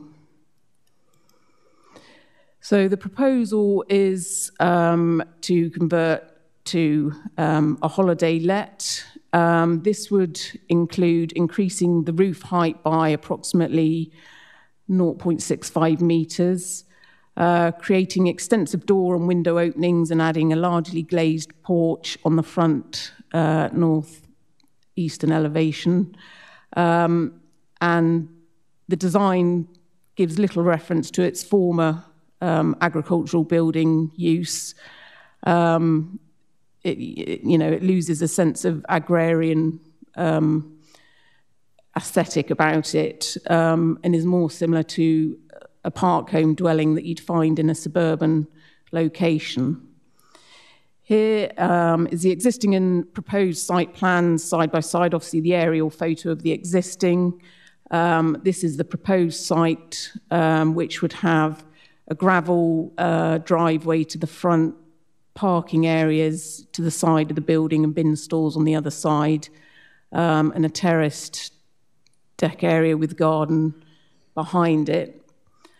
Um, I mean, the building is considered at present to be relatively innocuous, um, which creates relatively, you know, little visual harm as it sits unobtrusively on the site um, and is the sort of building you'd expect to see in the countryside. Uh, whereas this proposal will then, you know, create a gravel driveway, parking area, bins, and the general, general paraphernalia uh, that would be uncharacteristic, uncharacteristically sort of over refurbishment and residential within the open countryside. This is a view from uh, the public right of way which runs to the south of the site. Um, you can just see the roof of the building poking out above the hedgeway at the moment, um, which, as I say, is consistent with the rural aesthetic as an agrarian building um, and considered to be in keeping with its rural surroundings. The footpath that runs to the south uh, comes from Burbet Lane, which is off the west side of Shipton Gorge and carries on towards uh, Walditch and Bothenhampton. So the main issues are the principle of development, um, whilst there are the various uh, policies that support the principle of the adaptations, it is subject to being within keeping of the rural character. Uh, the scale design impact on character and appearance. Again, policy SUS 3 supports the adaptation and reuse of rural buildings if the existing building makes a positive contribution to local character and if their proposed form, bulk, and design will make a positive contribution to the local character. Policy ENV 10 states development should be informed by the character of the site and its surroundings, whilst ENV 12 requires siting, alignment, design, scale, mass, and materials to complement and respect the surroundings and be in, in harmony with the area as a whole. Um, the proposal is considered to be con contrary to these three policies. So, with the impact on the landscape um, within the Dorset AONB and landscape character area, um, the proposed conversion is in an isolated position in open countryside, and it's considered the development would harm the character, special qualities, and natural beauty, as well as the sense of tranquility and remote, remoteness of the Dorset AONB, uh, contrary to the local plan policies and also paragraphs 176 and 178 of the NPPF. Um, it would not make a positive contribution to the character of the countryside with the public right of way and would detract from the quality of views and sense of remoteness and tranquility from the public right of way that passes to the south of the site. Um, there would be a limited addition to the rural economy, um, but it, the proposal is contrary to the National Planning Policy Framework, paragraph 84C, as it is not considered to be sustainable rural development which respects the character of the countryside. Um, there are other matters which uh, are considered to accord with policies such as neighbouring amenity, flooding in the site, biodiversity and ecology, and access and parking. So, with policy SUS 3, which is for the adaptation of reuse of buildings outside defined development boundaries, the supporting text for this policy says it is, however, important to consider whether the building is worthy of retention in terms of its structure and how it contributes to local character, the impact on the surroundings that may arise from the changes necessary to enable its reuse. Um, there is some concern about how much of the original fabric of the building will be left if the roof will be uh, raised. The north-western walls will be mo moved out by just over half a metre. Um, a large opening, three metres wide, in the northeast elevation for a glazed porch, along with extensive window and glazed door openings um, and bifold doors. Uh, there was a mid Suffolk appeal for a Class Q, which is um, conversion of agricultural buildings, proposal that stated um, of a scheme that they considered. Consequently, very little of the existing building would be utilised, and I consider this to go beyond a conversion and would be considered reasonably necessary for the building starting afresh with only a modest amount of help from the original. Uh, paragraph 80 of the NPPF also supports conversions in isolated locations if it represents the optimal viable use of a heritage asset, which this isn't considered to be a heritage asset. Um, if the reuse of a redundant building would enhance its immediate setting, which again we don't consider that it would, or if the design is of exceptional quality, including significantly enhancing its media area and being sensitive to the defining characters characteristics of the local area, which again, we don't consider that this proposal achieves. So, with regards to the scale design impact on character and appearance and visual amenity, uh, back in November last year, there was an appeal decision on the old milking barn at Bettiscombe, which was also for uh, the conversion of a redundant agricultural building, which was also of a similar uh, concrete block and render design. The inspector noted on this appeal decision that the appeal building is in gently sloping and attractive countryside reflective of its AONB designation. The existing block and render building is single story with a monopitch roof and a small footprint, has a utilitarian form that is clearly identifiable, as having once been an agricultural use. Utilitarian appearance is not unusual for buildings in the countryside, but its form does not make a positive contribution to the character and appearance of the area.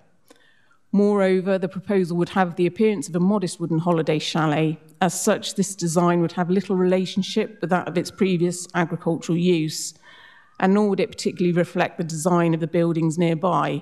As a result, the domestic nature of its chalet form would appear out of place with the rural appearance of the area whilst it's acknowledged that this scheme obviously is different in that it's not proposing a wooden chalet um, design, um, it is relevant because obviously it's comparable because of the existing block and render style and the resulting absence of its previous agricultural use um, in the proposed design. Uh, the Bettiscombe site was also um, close to other buildings and not in such an isolated position as well.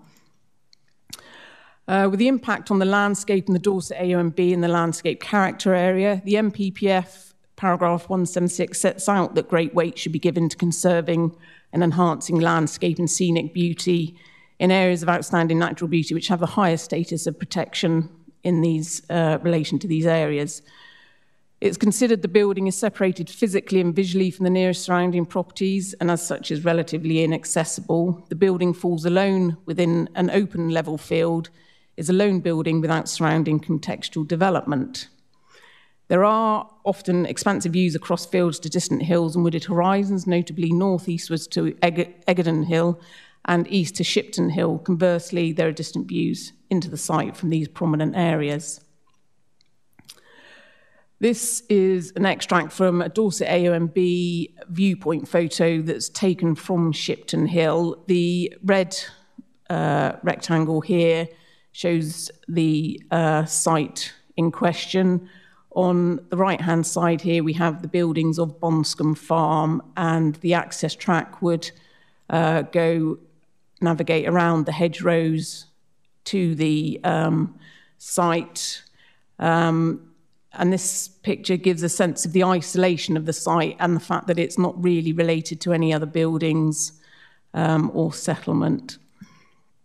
This is a view on the site taken from the front elevation um, of the piggery, which go, views northeast uh, from the site, and you can see Eggardon Hill in the background here, and you have got Shipton Hill just behind this um, hedgerow here. Um, with regards to the Dorset A and Powerstock Hills, uh, one of the characteristics of the Powerstock Hills landscape character area is its remoteness and dark night skies. Uh, the introduction of a residential dwelling in an area of undulating open countryside will result in a more conspicuous feature that is currently than is currently the case. And once occupied, light pollution from the holiday unit could not be eradicated. Um, I mean, this would also include obviously traffic uh, using the trackways to and from the site because uh, private cars are probably the main use of transport in order to be able to get there. Um, again, the sense of tranquility from the public right of way, which appears to be uh, well used, this would be diminished if the building is converted to holiday accommodation and its associated views and the views of the site. It's the views both into and out of the um, AONB landscape that are relevant in terms of the visual effect on any development. Whether or not it can be seen by the public or if there is visual harm does not necessarily mean that it can be regarded as not being harmful to the intrinsic character of the countryside.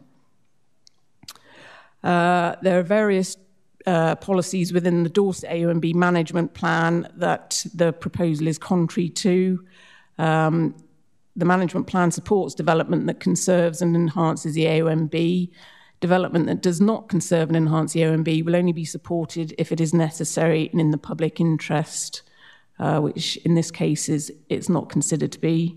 Policy C4A, remove existing and avoid creating new features which are detrimental to landscape character, tranquility, and the AONB special qualities. Um, and again, talks about views into and out of the AONB. Um, and proposals that are harmful to the character will not be permitted unless there are benefits that clearly outweigh uh, the proposals, which, as I say, in this instance, we don't feel there is.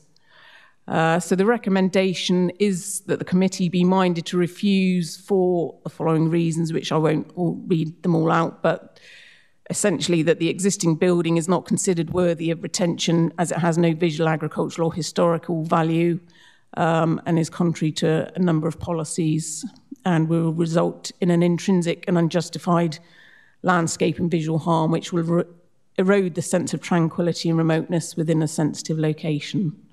Thank you. Uh, thank you, Charlotte. And we have one speaker, Helen Benedict, and you have three minutes. Thank you. Yes, I'm Helen Benedict and live at Bonscombe Farm. Bonscombe Farm is an agricultural holding which benefits from past farm diversification. In 2004, a holiday let unit was granted consent, and its income has since been instrumental in cross subsidising our farm by replacing withdrawn government subsidies and paying for higher operational costs. Conversion of the redundant piggery, located just 300 metres from our own farmhouse, um, would further cross fund the business and is supported by both local and national policies.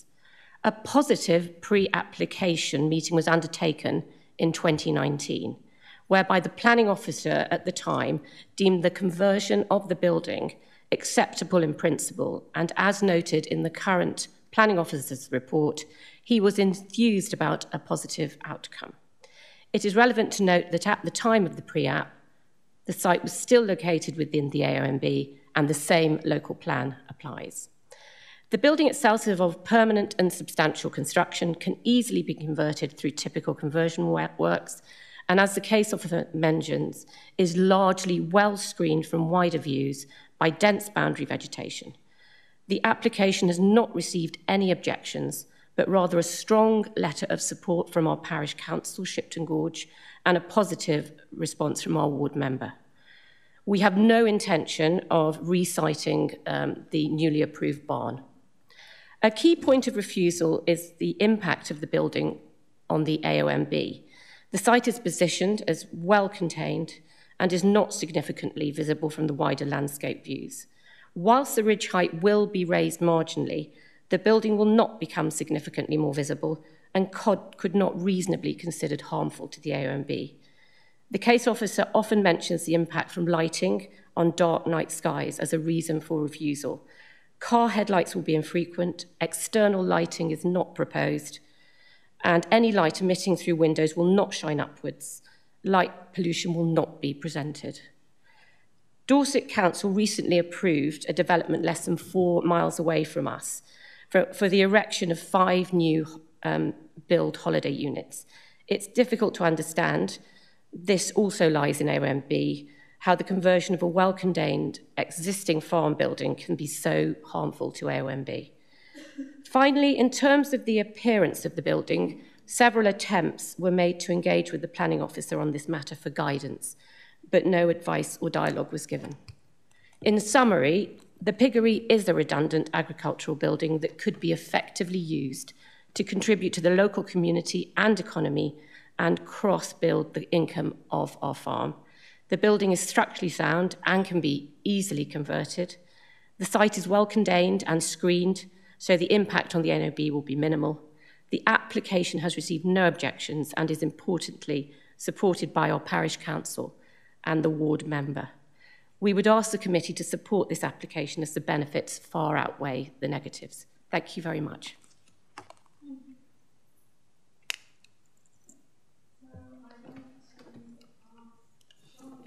Respond to any comments that have been made, please? Thank you, Chair. Um, with regards to the pre-application advice, this was uh, back in 2018 with the site visit done in 2019 by a colleague with mine, and it is acknowledged that they did accept, uh, in principle, that you know there there was a um, possibility that this could be um, converted. However, unfortunately, there wasn't a written response given to this, so I had no written record on which to go by. And having discussed it with them in the course of this application, uh, they did note that obviously, you know, whilst they might have been enthusiastic about the proposal in general, um, it was subject to all the normal policy considerations, um, which is, you know, what has been assessed during the course of this um, application. Um, with regards to um, the designs in external lighting, um,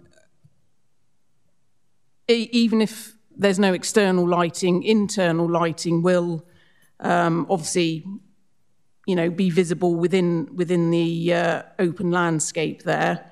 Um, and so it is, it's the noise, the disruption, and just the general change of character of the isolated um, and basically undeveloped countryside, which would then become a domestic dwelling, essentially, within that setting, uh, which is not considered to be appropriate in our view. Um, and obviously, since 2018, 2019, with the pre application proposal, there have been um, subsequent um, appeal decisions made, which again also have a bearing on um, our considerations of this proposal. Thank you. Uh, thank you uh, for that, Charlotte. So we now come to discussion by members. And if you could remember, you can ha- ask questions and discuss. If you could remember to say your name, please. Would anyone like to start with yourself? Councillor Williams. Thank you. Uh, Councillor Sarah Williams, Bridport Ward. Can you remind me what the um, roof heights difference is going to be, please?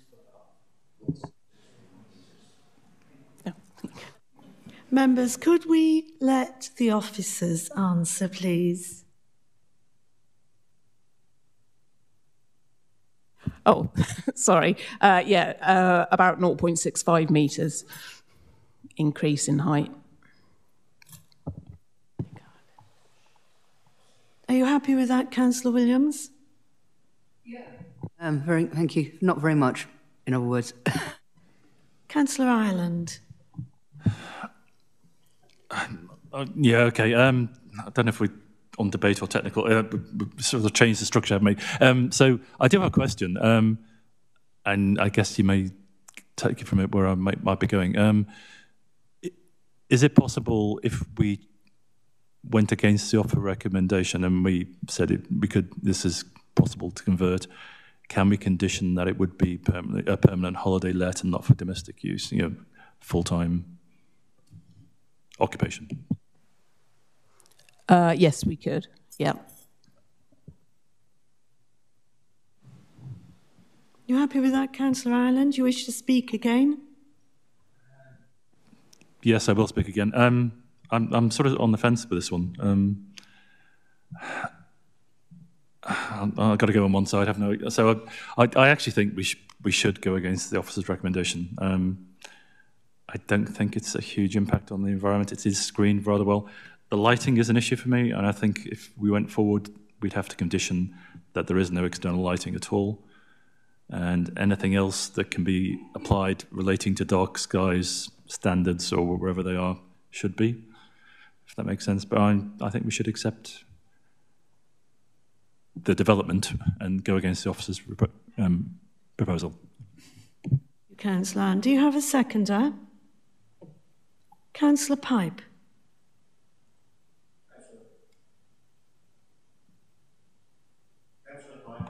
Up, and I'm quite happy to propose, second that proposal, Madam Chairman. Now, you've gone against the officer's recommendation, so we're back where we were to, uh, a couple of um, applications ago. You have to come up with your reasons. You have to give solid planning reasons, and the officers will get the wording correct. So I, um, I look forward to your planning reasons. Thank you, Chairman. Um, I, I, well, I'm, I'm going to say where I think, and whether this is actually valid or not. I, I think the, the economic benefits outweigh the the um, the the negatives. I don't think it has a huge impact on the AONB. The AONB is huge. It's screened. It is close to the farmhouse. I yeah, light. I think the only issue I have is light, but I think that can be mitigated pretty much.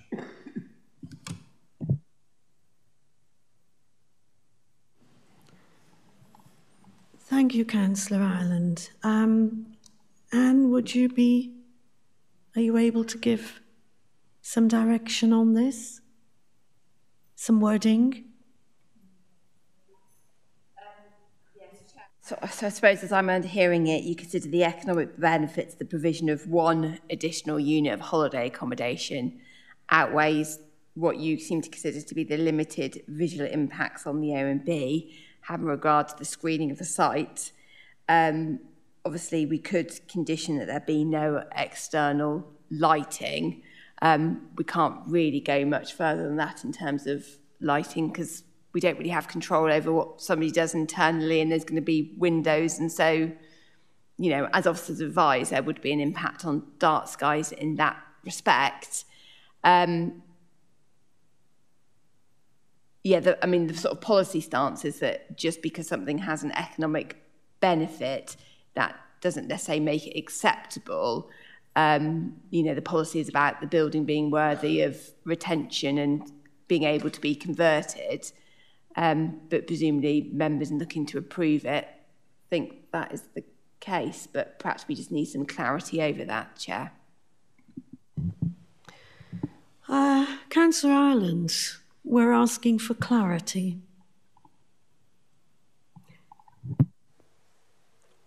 To be honest, I'm not quite sure what you mean by that. Um, it is a building. It, there is a carbon cost, obviously, if you knock it down. It can be reused. Uh, I know it's. I don't think it should be ever be used as a domestic dwelling. I think it should be purely for holiday let. The applicant already has indicated they have a holiday let, a successful holiday let, which contributes to their business and supports the business. And we should be supporting rural businesses, especially in times like this. So I, I, I don't see the issue. I, you know, you could you could tart the building up quite a bit. Um, potentially, you could put cladding on and that sort of thing. Um, you know, all of us watch Grand Designs. Well, okay, Councillor Pipe doesn't. Um, I, I don't see. Any, I don't have, an issue with it, and you know, I'm, I'm looking to our professionals to to actually you know provide reasons why we can do this. And I I couldn't remember from the picture of the, the, the building if it had roof lights in. Um, if it does, they probably should, we probably don't want them, but um, I don't think there were, and we probably should probably condition that there aren't. Uh, thank you, Councillor Ireland. Councillor Pipe, did you want to?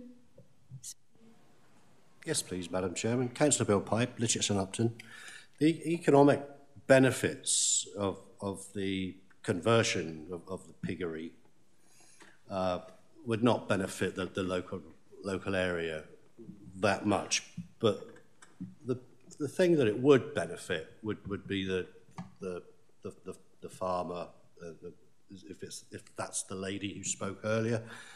Um, and, and I think we should be in the business of supporting uh, local, uh, very like small landowners, like like the lady who spoke, if she is uh, the, the, the farmer. And I, and I, and I really do think that we should uh, uh, go ahead and uh, have a look at have a look at um, how we how we can um, fit this into an acceptable form form of words. But particularly where, as has already been said, there, there is no impact on on the environment there, there are no neighbours apart from the, the farmer and his, her family, and I think it has merit. Thank you. Thank you, Councillor Pipe. Councillor Cocking. Could could we put in something that it's repurposing an existing building? And um, I believe the lady did say that I think it was about four miles away that there was already that was approved um, four or five holiday homes within an A- an AONB. So perhaps that was set a precedent. Um, and I don't think it would do much harm. But you're making use of an existing building. They're not actually knocking it down completely and rebuilding a new building. They're repurposing an existing building. Councillor Cocking. Councillor Pipe. Councillor Bill Pipe, still at the Lytchetts and Upton.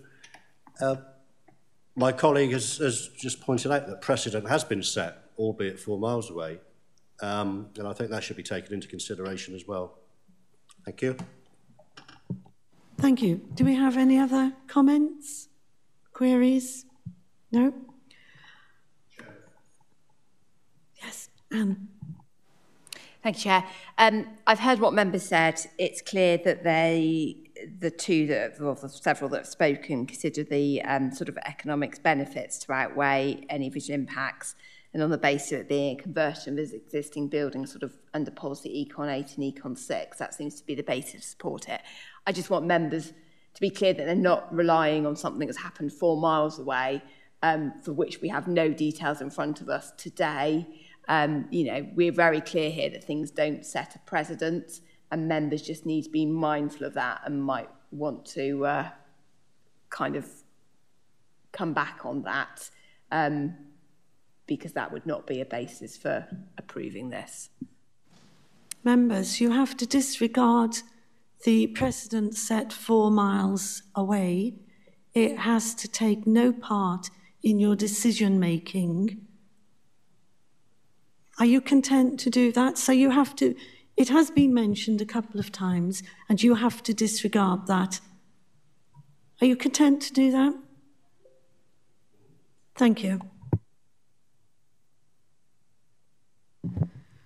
And would you like a short?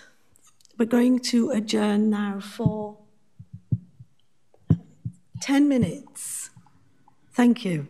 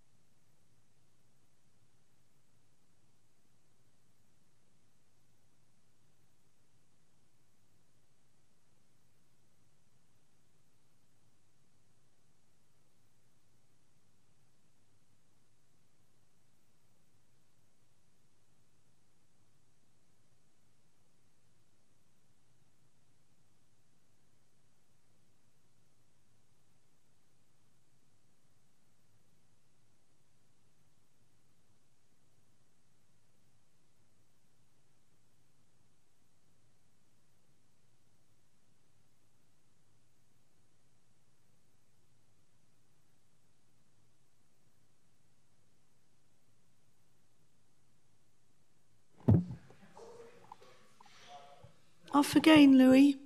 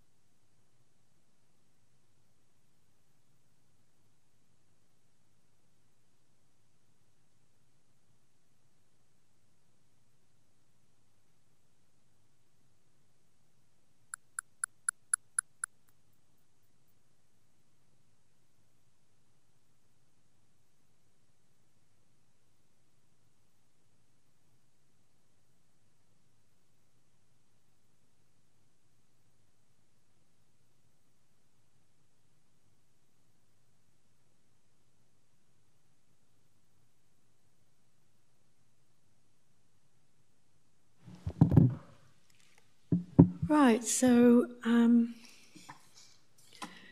we have the revised proposal in front of you.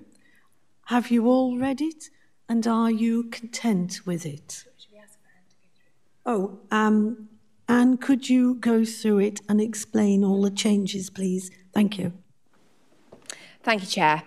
Um, so the proposal based on hearing what members have said today and our suggested um, suggestions as officers is to delegate authority to the head of planning and the service manager for development man management and enforcement to grant planning permission subject to a section 106 to tie the development to the agricultural holdings such that they cannot be sold separately. Because I think what members have said to me today is that this is kind of considered as an, um, an economic benefit in terms of its firm farm diversification scheme. So it's important to link that unit of holiday accommodation back to that agricultural holding and that benefit you perceive in terms of the impact for the holding.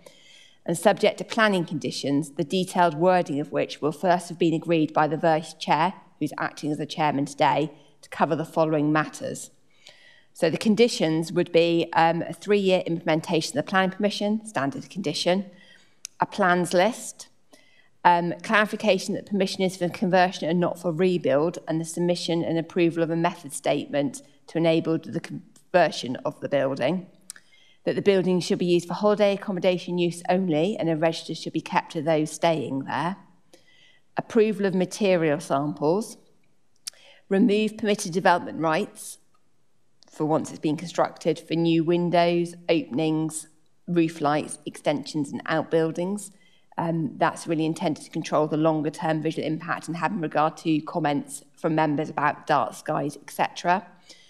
A condition requiring no external lighting, an implementation of biodiversity mitigation plan, which we already have on file, the submission and implementation of a soft landscaping scheme and its ongoing maintenance for five years, the provision of the turning and parking area prior to first use, as shown on the approved plans, and details of proposed boundary treatments, including materials and height, and that they be retained as such thereafter.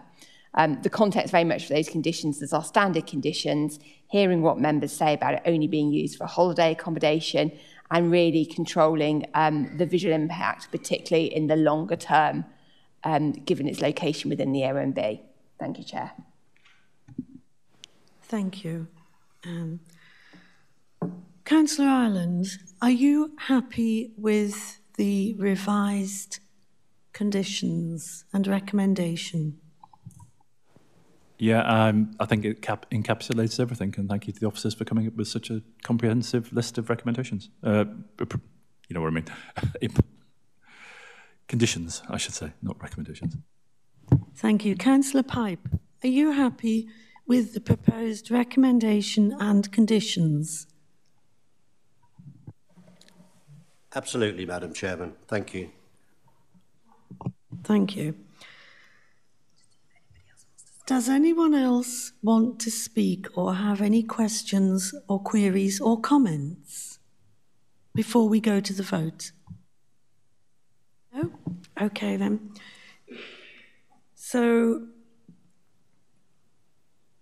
We can now go to the vote on this new recommendation, which is to grant planning permission and the list of um, the conditions. So, all those who are in favour of the recommendation to grant.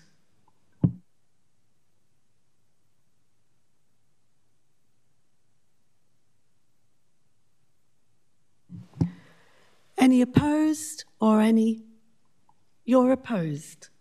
What? One opposed. Any abstentions? Thank you, committee. That has been approved for the, the piggery building. Thank you.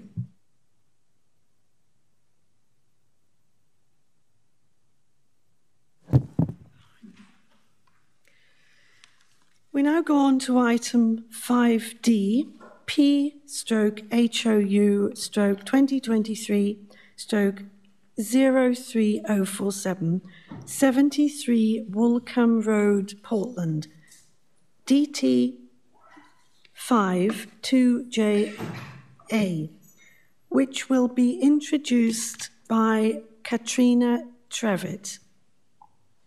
Thank you, Katrina. Thank you, Chair.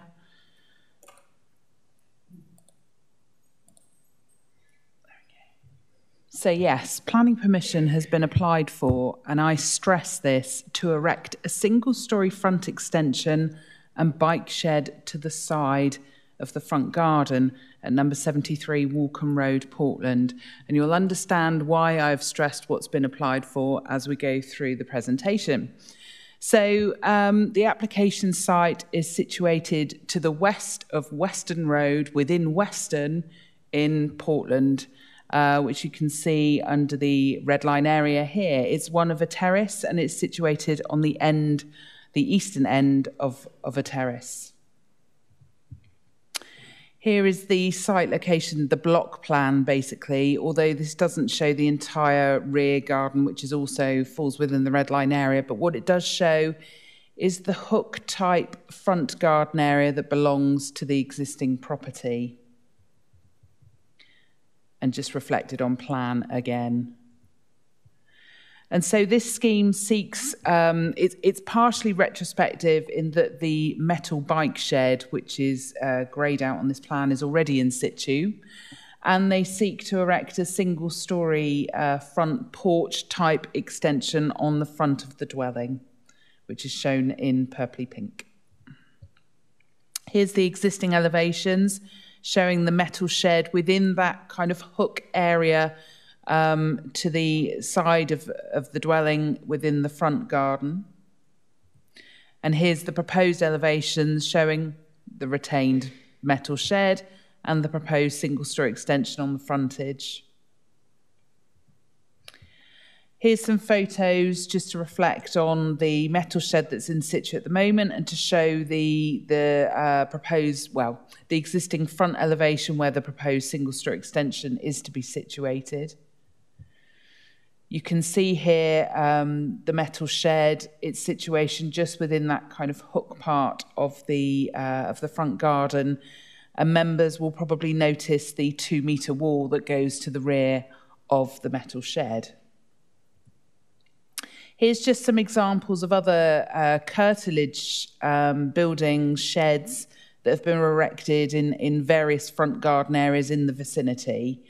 Um, we do acknowledge that there's several examples of this types of building pepper potted throughout the estate, although we recognise that uh, not many of them are actually tim- uh, are actually metal. They tend to be more more timber examples. Um, however, we do consider that the metal uh, shed at the moment is well scaled, it's low, its impact is, is low, um, and is therefore considered acceptable to be retained.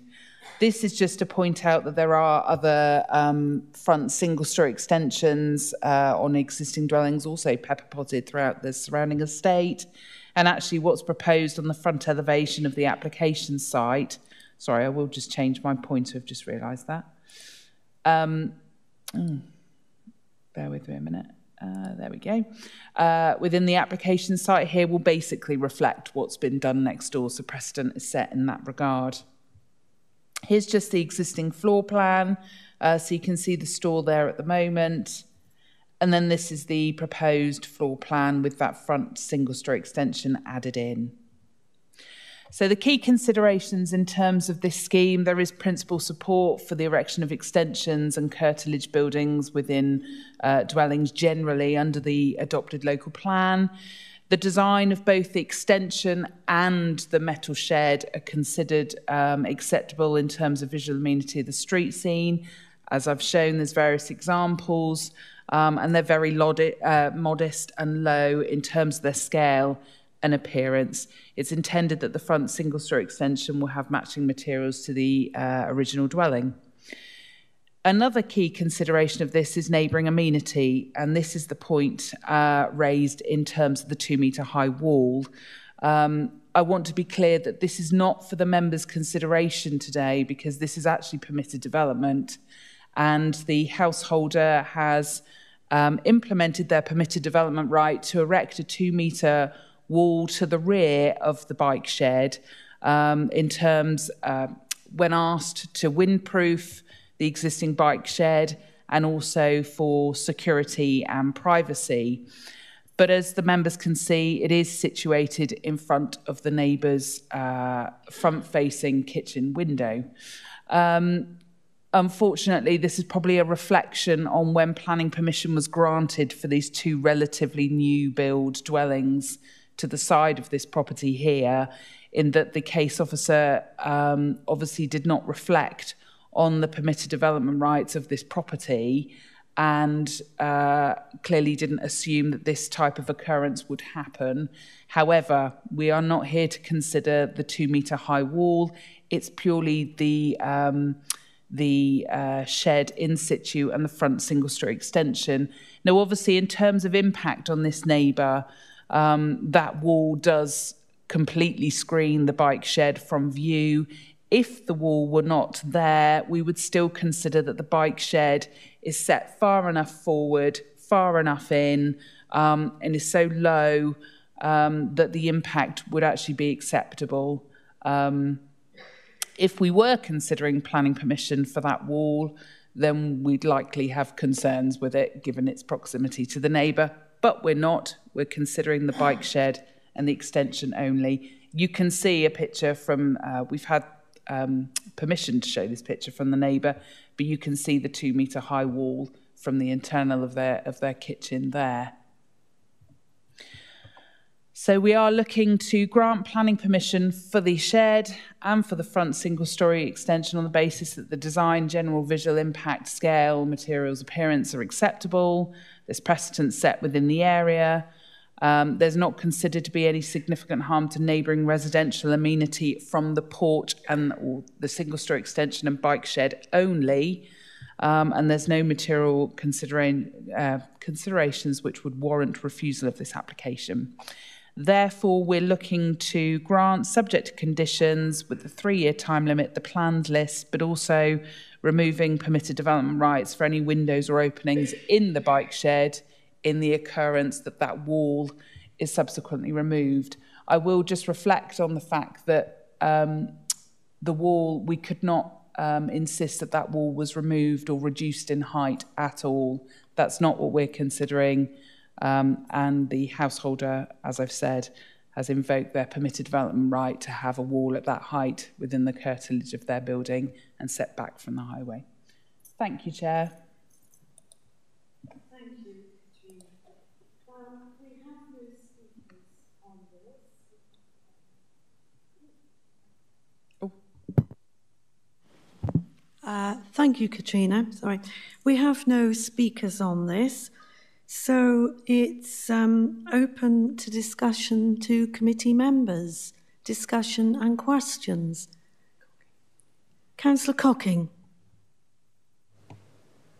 Um, I have to be really careful.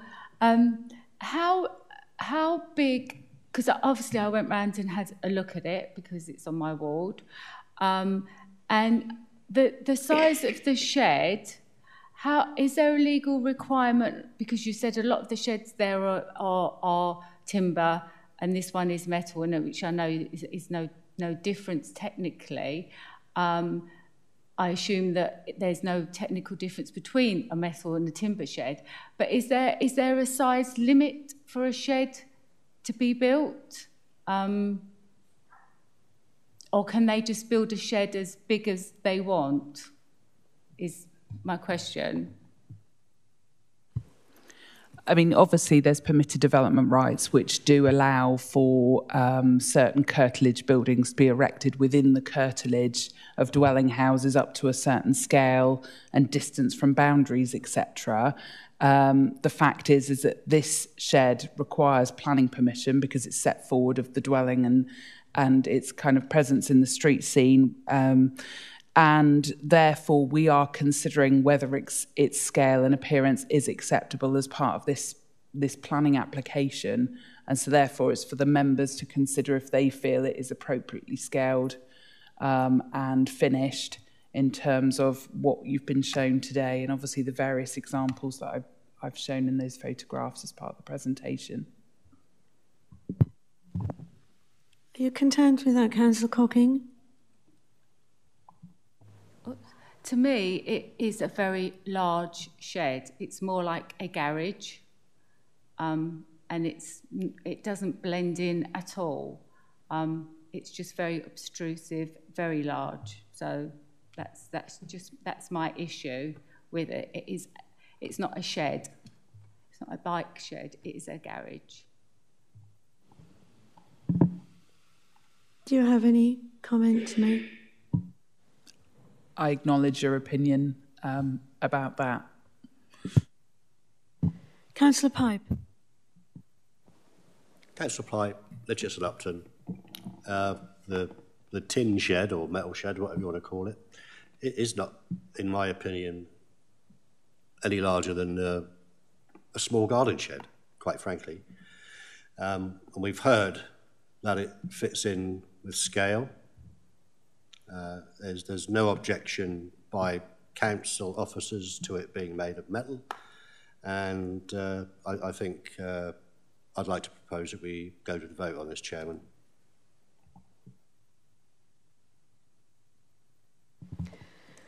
Thank you, Councillor Pipe. So you are proposing, proposing accepting the officer's recommendation. Councillor O'Leary. Uh, thank you, Chairman. It's delightful to actually take part in this meeting.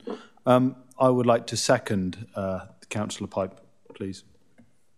We'd like to second that you accept the officer's recommendation. Yes, thank, thank you, Councillor O'Leary.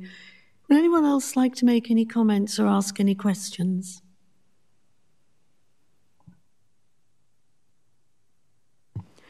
Right, we have a proposer, we have a seconder to accept the officer's recommendation.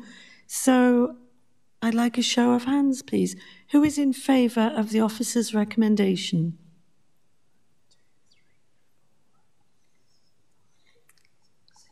Thank you. And who is against? One. And any abstentions? I didn't. Well, then I'll put myself down as an abstention. So the recommendation is carried, and um, thank you very much for your attendance this morning. It's much appreciated.